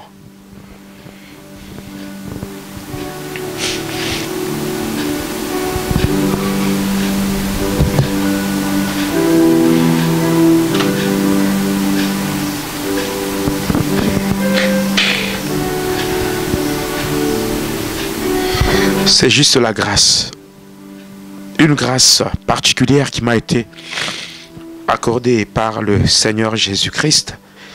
Parce que il y a combien de gens qui sont morts dans la, qui sont tombés dans la folie? Combien de gens qui étaient dans la magie mais qui, qui sont morts? D'autres sont tombés dans la folie. Mais moi, qu'est-ce que j'ai fait? Qu'est-ce que j'ai donné à Jésus pour que je sois en vie? Il y a des gens qui n'avaient pas atteint le niveau que moi j'ai atteint de le satanisme. Il y a d'autres qui étaient seulement dans la sorcellerie. Il y a d'autres qui ont touché à certaines choses simples, mais qui sont tombés dans la folie. D'autres qui sont morts. D'autres qui ont connu une, qui ont connu une fin tragique. Mais je dis seulement merci à Jésus. Parce que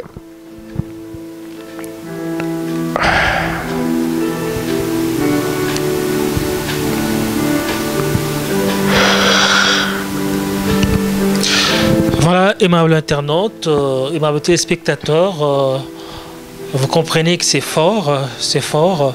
C'est son souvenir euh, lorsque vous voyez l'homme de Dieu en train de ressasser le passé pour voir ce que Dieu a fait dans sa vie. Comprenez, comprenez carrément son émotion. c'est vraiment des souvenirs inoubliables pour lui, ce que Jésus a fait dans sa vie. C'était comme ça et voilà. Bon. Moi, je n'aime pas distraire les enfants de Dieu. Surtout aujourd'hui avec euh, l'évangile de la prospérité. Les gens qui vivent dans le péché. Mais on ne leur dit pas la vérité. L'enfer est réel. Le monde astral existe. Il y a des gens qui meurent, qui vont là-bas. Pendant que aujourd'hui, il y a des gens qui font de l'œuvre de Dieu une source lucrative. Il y a des gens qui prennent l'église comme leur gagne-pain. Ça devient comme un champ où ils viennent pour moissonner. Au lieu que nous, au que nous soyons de gagneurs d'âme, comme le Seigneur Jésus a dit dans Matthieu 28, il a dit, allez partout et faites de toutes les nations mes disciples. En le baptisant au nom du Père, du Fils et du Saint-Esprit. Enseignez-leur à observer ce que je vous ai prescrit. Voici, je suis avec vous tous les jours jusqu'à la fin du temps. C'est ce qui est beaucoup plus important, c'est que tout le monde connaisse qui est Jésus, que tout le monde découvre, découvre la grâce, que tout le monde comprenne que sans Jésus, la vie n'a pas de sens. Il n'y a que Jésus, lorsqu'il fait son entrée dans la vie d'une personne, ce n'est que lui, par son entrée, qui peut donner un sens à notre existence. Donc, euh, vivre sans Jésus, c'est rester à la merci du diable.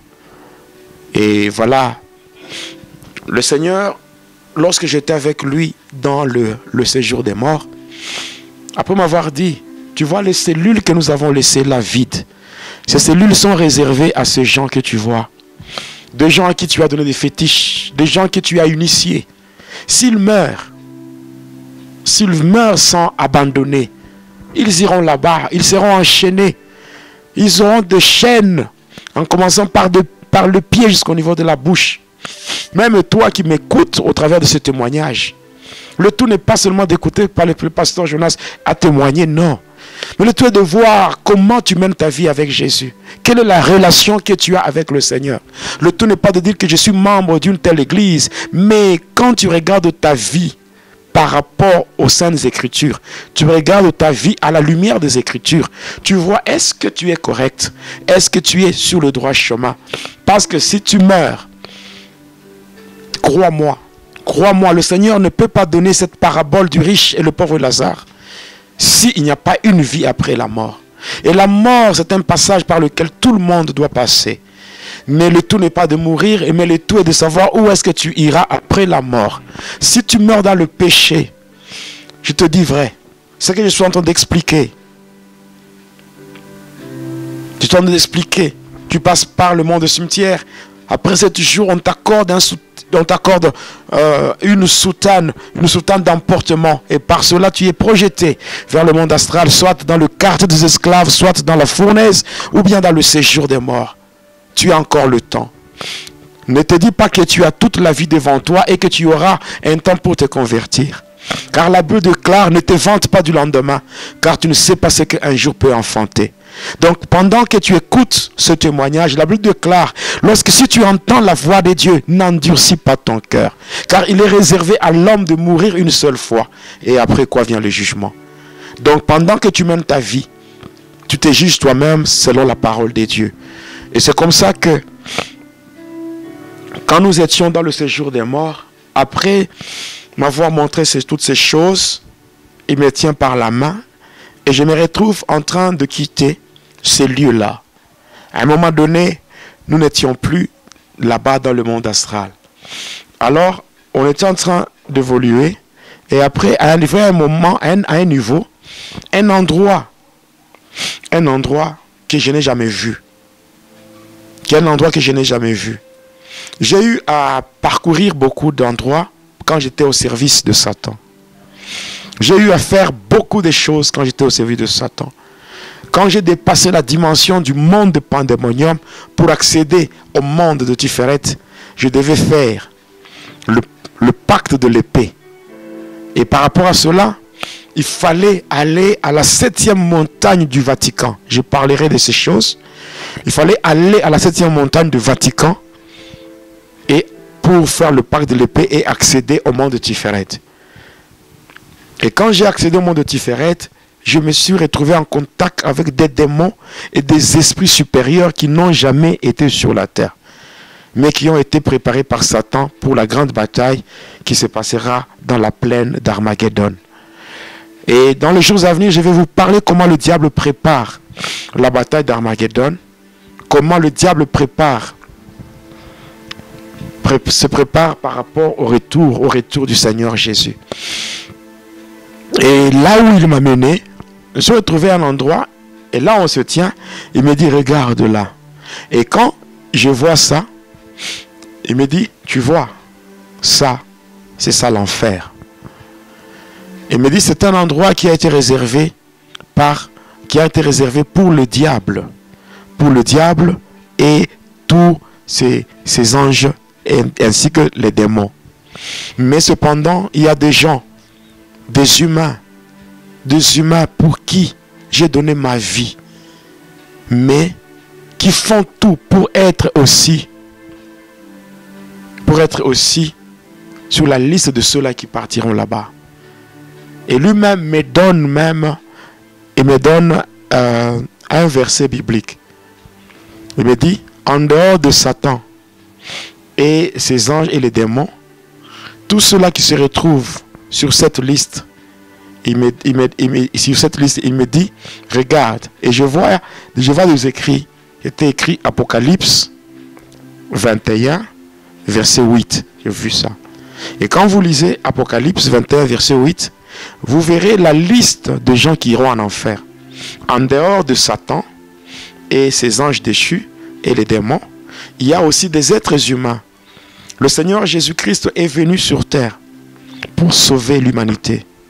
Car Dieu a tant aimé le monde qu'il a donné son Fils unique Jésus-Christ, afin que quiconque croit en lui ne périsse pas, mais qu'il ait la vie éternelle. Jésus a donné sa vie.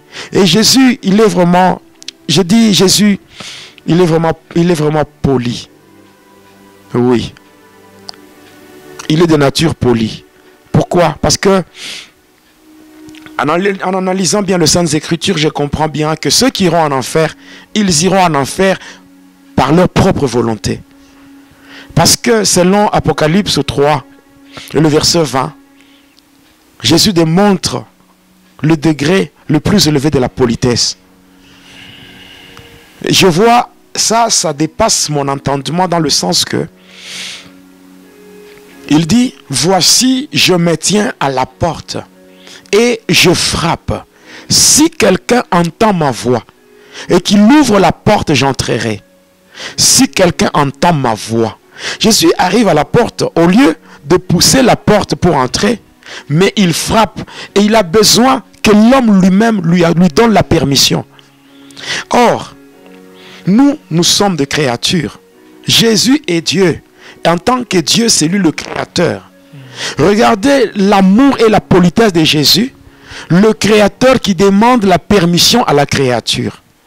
C'est comme aujourd'hui si j'ai ce téléphone ici, ce téléphone m'appartient. Donc si j'ai besoin de l'utiliser, je ne viendrai pas demander la permission au téléphone pour que je l'utilise.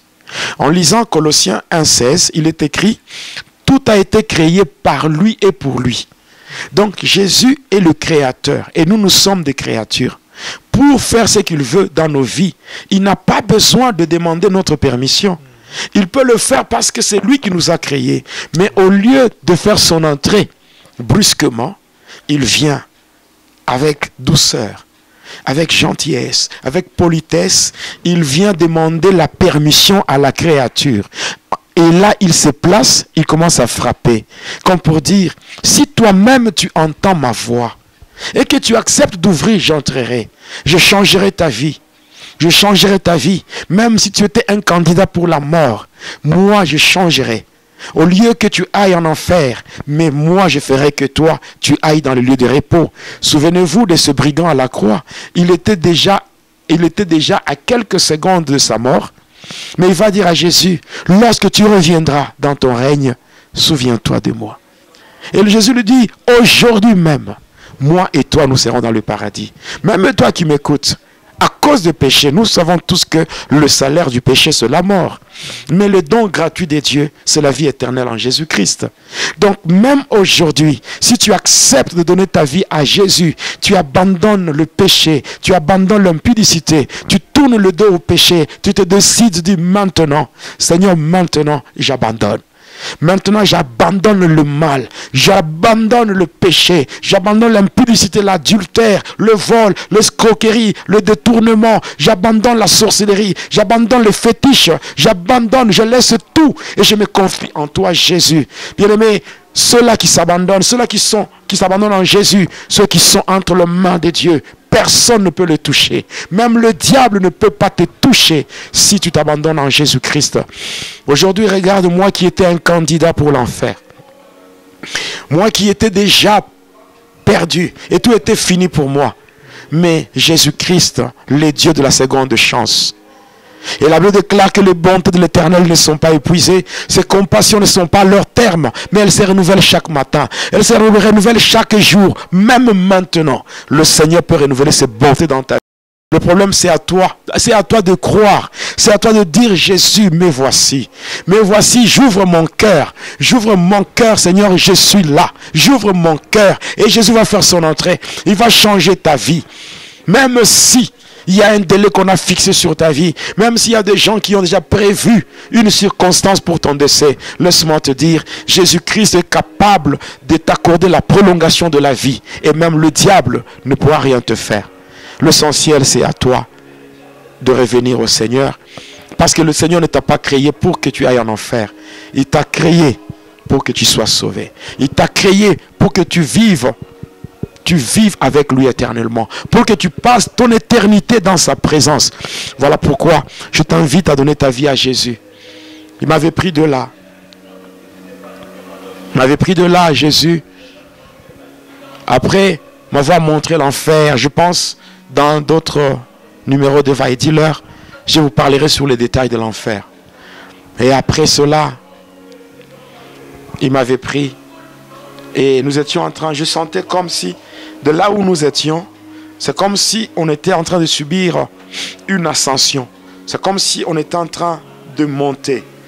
Donc je me, sentais comme si quelqu'un m'avait pris pour me faire quitter d'un niveau inférieur et me faire monter à un niveau supérieur. Et pendant qu'on montait, arrivé à un moment donné, je me suis retrouvé quelque part avec lui. Alors, quand je m'étais retrouvé là, mes pieds, mes, pieds étaient posés sur de l'or. Et j'avais vu de l'or. L'or, c'était ça qui était comme la route ou le chemin. Donc le pavement, le pavement, je dirais, euh, c'était une route pavée d'or. Et c'est là que j'avais posé mes pieds et c'est lui qui me tenait. Et puis pendant qu'on avançait, à un moment, il avait disparu et je m'étais retrouvé seul. Et pendant que j'avançais, je voyais, je ne sais pas comment décrire, j'étais en train de voir, c'est comme s'il y avait des murs en, verre. Donc je voyais euh, des choses tellement merveilleuses que je n'ai jamais vues. J'étais dans le monde de Satan. Si je compare le monde de Lucifer avec le monde des humains dans lequel nous vivons, on peut dire que le monde de Satan est plus beau que le monde des humains. Mais l'endroit où je m'étais retrouvé, cet endroit est plus beau, plus que le monde de Satan. Bien-aimé dans le Seigneur, le ciel est réel. Moi, quand je prêche, il y a des moments pendant que je prêche, je me vois au ciel. Comme disait, comme disait le bien-aimé Papa Alain Moloto. Il disait en toi Seigneur, c'est comme si je suis un homme qui a le pied sur terre mais l'esprit au ciel. Donc quand on a, quand on a Jésus avec soi, on peut vivre au ciel en esprit mais être sur la terre, avoir le pied sur la terre. J'avançais et pendant que j'avançais, je voyais au devant, il y avait un, grand trône, un trône blanc. Et il y avait sur ce trône, sur ce trône, je n'avais pas pu euh, euh, identifier ou voir la personne qui était assise, mais je voyais seulement des couleurs. Il y avait plusieurs couleurs. Et autour, il y avait beaucoup, beaucoup d'anges. Dieu m'a fait grâce de voir les anges de mes propres yeux. Ils étaient en, en, en un nombre vraiment que je ne peux pas déterminer. Ils étaient vraiment très nombreux. Et moi, je ne pouvais même pas m'approcher. Je voyais seulement de loin. Tellement que c'était beau. C'était tellement merveilleux les choses que j'étais en train de voir. Et les choses que je voyais, ce sont des choses que je n'avais jamais vues. Jamais. Je n'ai jamais vu. Euh, je n'ai jamais senti une telle atmosphère. C'est une atmosphère dans laquelle on se sent dans la paix, dans la joie. Donc une joie que personne ne peut, ne peut donner. Donc une joie qu'on ne peut pas mesurer. Et je voyais tout ça. Et après un temps, il était encore revenu. Il me prend par la main et me dit, viens, je vais te montrer. On a changé de direction et on allait d'un autre côté. Et là, quand nous étions arrivés de loin, il me dit, regarde là. Et là, quand je voyais, il y avait un endroit qui était vraiment comme une cité. Une cité vraiment magnifique. Il me dit, ça, c'est ça la Jérusalem nouvelle. Et ça, c'est ce que j'ai réservé pour tous ceux-là qui me servent. Et je regardais, et après il me dit, viens. Et pendant qu'on était en train de rentrer, il me dit, on te réclame. Il y a des gens qui te réclament. Alors, il me dit ceci. Tu vas maintenant rentrer. Tu vas rentrer parce qu'on te réclame. Ce que je vais te dire, c'est ceci. Tu vas beaucoup souffrir. Je me rappelle de ça. Celui qui m'avait dit que, j'allais beaucoup souffrir, c'est le Seigneur Jésus. Il me dit, tu vas beaucoup souffrir, mais sache que je serai toujours avec toi. Ici, quand je peux, si je peux ouvrir une parenthèse par rapport à la souffrance.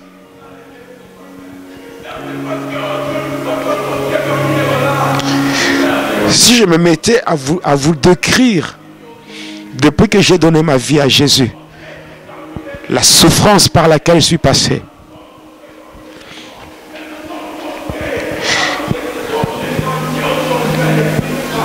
je comprends seulement que le psaume 34 et le verset 20 déclare Le malheur atteint souvent les justes, mais l'Éternel en délivre toujours. Il me dit Tu vas beaucoup souffrir, mais je serai toujours avec toi. Va et dis-leur ce que j'ai fait pour toi. Car ce que tu connais n'est pas pour toi seul. Même aussi aujourd'hui nous parlons de va et dis-leur. Ce n'est pas, ce n'est pas en fait euh, un titre que nous avons donné à cette émission. C'est juste une recommandation que j'avais reçue de la part du Seigneur le jour de ma délivrance. Il a dit, va et dis-leur ce que j'ai fait pour toi. Car ce que tu connais n'est pas pour toi seul. Et là, il m'avait tourné le dos. Pendant que je rentrais comme ça sur la route, et puis il me tient, il me touche la main au niveau de l'épaule. Et quand il me touche comme ça, je le regarde, il me dit une phrase. Il dit, je reviens bientôt. Après, il part. Subitement devant moi, il y avait une forte lumière. Une très forte lumière. Et devant moi. Et quand j'essaie d'avancer dans cette lumière, subitement je me retrouve, je me retrouve dans ce monde ici. Je me retrouve par terre. Et quand j'ouvre les yeux, Les gens qui étaient tout autour, les gens couraient, les gens fouillaient, les gens couraient, les gens criaient partout. Je pense, je vais bien expliquer dans le prochain, le numéro, numéro 54. Parce que juste après, j'étais parti vers les personnes que j'avais initiées à la magie, au fétiche, à l'occultisme. Ces personnes étaient au nombre de 50. Dieu m'avait fait grâce. Il y a des gens avec qui je parlais devant les membres de leur famille. Il y avait des gens qui avaient décidé de me porter plainte. Il y avait des gens qui avaient décidé de me faire arrêter. Mais comme c'est le Seigneur qui m'avait dit, je m'étais humilié. J'avais demandé pardon. Et pendant que j'ai demandé pardon, il y avait des gens qui étaient prêts pour me lapider.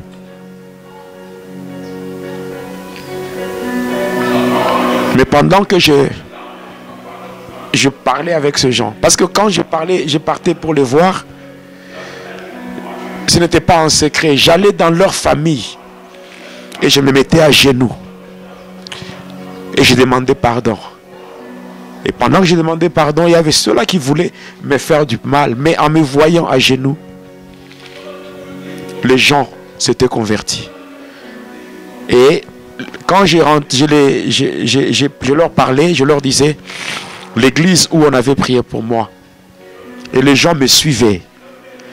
Ma délivrance à moi a été accompagnée par la délivrance de 49 personnes. D'abord, les 49 personnes, ce sont ceux-là que j'avais initiés, mais aussi les membres de leur famille qui s'ajoutaient pour chercher aussi la délivrance. Il n'y avait qu'une seule personne qui avait refusé de croire, mais qui voulait toujours, parce que avec ce fétiche qu'il avait, le pouvoir que je lui avais donné, il se faisait beaucoup d'argent. Il allait dans de carrières pour chercher de minerais. Et un jour, il était parti à la carrière, il y avait un éboulement. Et tout était fini, tout était fini par là. Et c'est comme ça qu'il est mort à la carrière, dans un éboulement. Mais les autres, 49 personnes, avaient accepté. Et, tous ces gens étaient partis à l'église. On a prié pour leur délivrance. Non seulement pour leur délivrance, il y avait aussi la délivrance des membres de leur famille qui avait accepté Jésus-Christ à cause de ce que j'avais fait. Je pense que prochainement, je reviendrai sur ma souffrance, la souffrance que j'ai connue. Si aujourd'hui, je suis euh, au onzième empoisonnement, et puis, dernièrement, j'avais une tumeur au niveau du cerveau, mais le Seigneur a démontré sa fidélité. Et au lieu que je meure par le onzième poison, au lieu que je sois détruit par la tumeur qui était attachée à mon cerveau, mais le Seigneur s'est manifesté.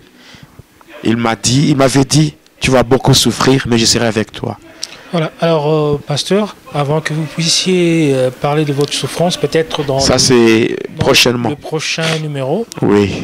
Alors, euh, je voulais savoir pendant que vous étiez vous étiez mort, si on peut le dire ainsi, et ça fait combien de temps jusqu'à votre votre réveil? Deux jours. Ça fait deux jours. Ouais. Et là, sur le plan médical, vous étiez vraiment déclaré oui, oui, oui. Pendant deux jours. Les gens pleuraient même. Et on organisait même les deuils pour vous. Ouais. Et là, on vous a laissé toujours à l'église J'étais à l'église là-bas. Parce qu'il y a des gens qui continuent à prier. Ils continuent à prier. Et ils avaient la foi que le Seigneur allait se glorifier. Le Seigneur allait faire un miracle. Il y avait ceux-là qui priaient, qui disaient non, le Seigneur ne peut jamais nous trahir. Et le Seigneur ne peut pas nous trahir à l'église. Il y a d'autres qui, avaient peur pour dire que lorsque la famille de cet homme va venir, on va nous faire arrêter. Mais la nouvelle n'était pas arrivée jusque, jusque chez vous à la maison C'était arrivé.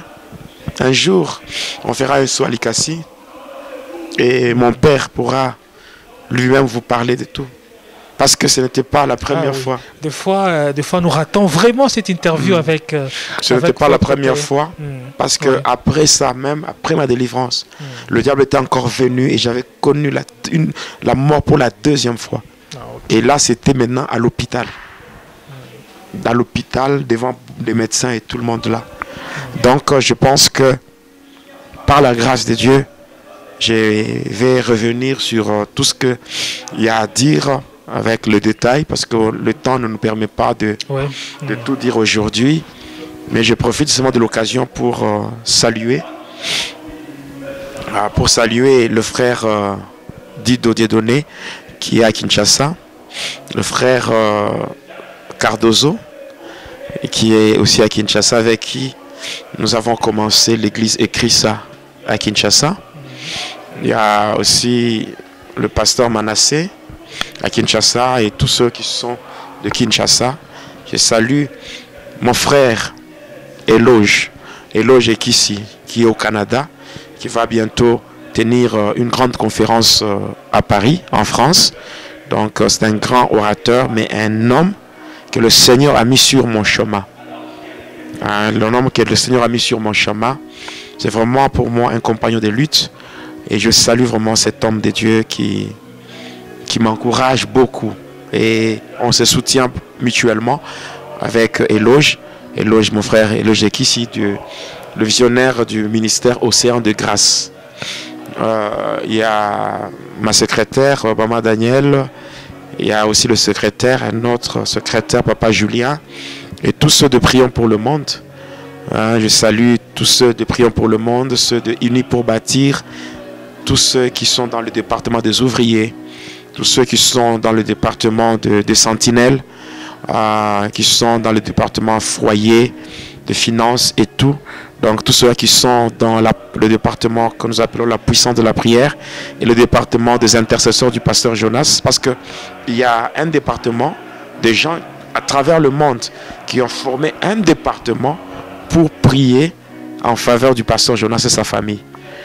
Donc, vous voyez, même si le diable peut chercher à me pourrir la vie, mais il y a des gens à travers le monde qui prient pour moi, qui me soutiennent, qui me portent dans leur cœur, afin que, afin que je sois capable de résister et d'aller de l'avant avec cette mission qui n'est pas facile.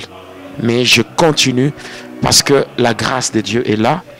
Et voilà, j'ai béni tous les internautes, tous les abonnés. euh, de la chaîne euh, Jonas Lunkutumpa, la chaîne officielle. Donc euh, je salue vraiment, j'ai béni leur vie. Et en tout cas, merci. J'ai béni tous ceux de Ecrisa, de Lumbashi, Côte d'Ivoire, partout où Ecrisa est implanté. Vraiment, je salue et je dis merci euh, à tous les hommes de Dieu. Je salue aussi Papa Célestin Moudimbi et aussi le, le bishop euh, Élysée de, Kinshasa, gens qui me soutiennent dans cette marche, dans cette lutte euh, pour la gloire de notre Dieu. Donc voilà, prochainement nous allons continuer euh, toujours dans le cadre de ma délivrance. Nous allons expliquer les différentes réclamations du diable. Après ma délivrance, le diable m'a beaucoup réclamé. Alors le Seigneur m'a fortifié. Et je vais vous expliquer toutes euh, les étapes par lesquelles je suis passé par rapport à toutes les réclamations. Et vous comprendrez que le Seigneur n'abandonne jamais ceux qui lui font confiance. Ouais. Donc, euh, oui, ceux qui font confiance au Seigneur Ouais. ne seront jamais confus. Voilà. Alors, Voilà. pasteur, aujourd'hui, ce que vous avez dit là, c'était très fort. Et je sens qu'il y a des gens dans le monde entier qui veulent, par l'entremise de cette émission, recevoir Jésus-Christ dans leur vie. Alors, s'ils sont là, je vais profiter que vous puissiez faire une prière. Pendant qu'ils seront là, ils vont répéter avec vous la prière d'acceptation du Seigneur Jésus-Christ. Merci pour cette occasion, cette opportunité que vous m'accordez de pouvoir euh, amener les âmes au Seigneur, passant par cette émission. Ils vont devoir répéter après moi. Seigneur Jésus, je viens à toi. Je me reconnais coupable. Je me reconnais pécheur. je viens implorer ta grâce. Et par ta grâce, Seigneur, pardonne-moi. Pardonne, Seigneur, tout ce que j'ai fait comme péché. Seigneur, tu me connais mieux que moi. J'ouvre mon cœur et je demande pardon. Que ton sang précieux qui a coulé à la croix de Golgotha purifie mon corps, mon esprit, mon âme et tout mon être soit purifié. Au nom de Jésus.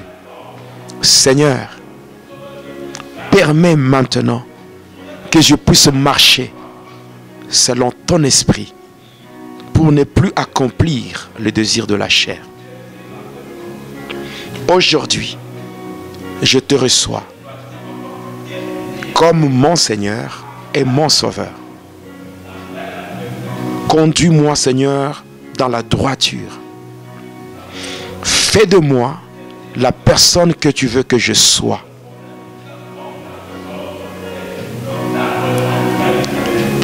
Aide-moi à m'éloigner de Satan par la puissance du Saint-Esprit au nom de Jésus. Que je marche dans une nouveauté de vie et que je sois totalement à toi au nom de Jésus-Christ. Amen. Amen. Voilà, aimable internaute, aimable téléspectateur de cette émission Va et Dealer, nous vous disons merci. Que l'éternel Dieu vous bénisse. Vous avez compris que nous avons été bénis par le témoignage de l'homme de Dieu, le pasteur Jonas. En tout cas, si c'est la toute première fois de nous suivre, veuillez vous abonner sur cette chaîne. Et si vous avez suivi, n'hésitez pas à partager la vidéo parce que cette vidéo va évangéliser, cette vidéo va amener les enfants de Dieu au Seigneur Jésus-Christ. Vous êtes nombreux, vous qui nous suivez. Continuez à prier pour nous, à prier pour l'homme de Dieu, à prier pour cette émission, pour le réalisateur Bonnie Verdict Béa. Nous disons, nous disons grandement merci. Et va et dealer, va continuer. Euh, nous allons vous retrouver dans le numéro 54 par la grâce de Dieu. Nous disons merci au pasteur Jonas. Merci. Merci à vous tous. Que Dieu vous bénisse. Au revoir. Dealer. Va et Ziller, c'est l'histoire d'une vie transformée par Jésus-Christ après avoir servi le diable pendant 25 ans. Va et Ziller, c'est l'histoire du pasteur Jonas Lonkutompala Yedidia, aujourd'hui serviteur de Dieu, jadis sataniste. Hormis le témoignage du pasteur Jonas, plusieurs thématiques seront abordées dans différents numéros de cette émission. Pour ne rien rater, abonnez-vous sur votre chaîne Jonas Lonkutompala, chaîne officielle. N'hésitez pas à liker la vidéo si elle vous plaît et si vous êtes nouveau sur la chaîne, n'oubliez pas de vous abonner et d'activer la notification pour ne rater aucune de nos prochaines vidéos. N'hésitez pas à liker la vidéo si elle vous plaît et si vous êtes nouveau sur la chaîne, n'oubliez pas de vous abonner et d'activer la notification pour ne rater aucune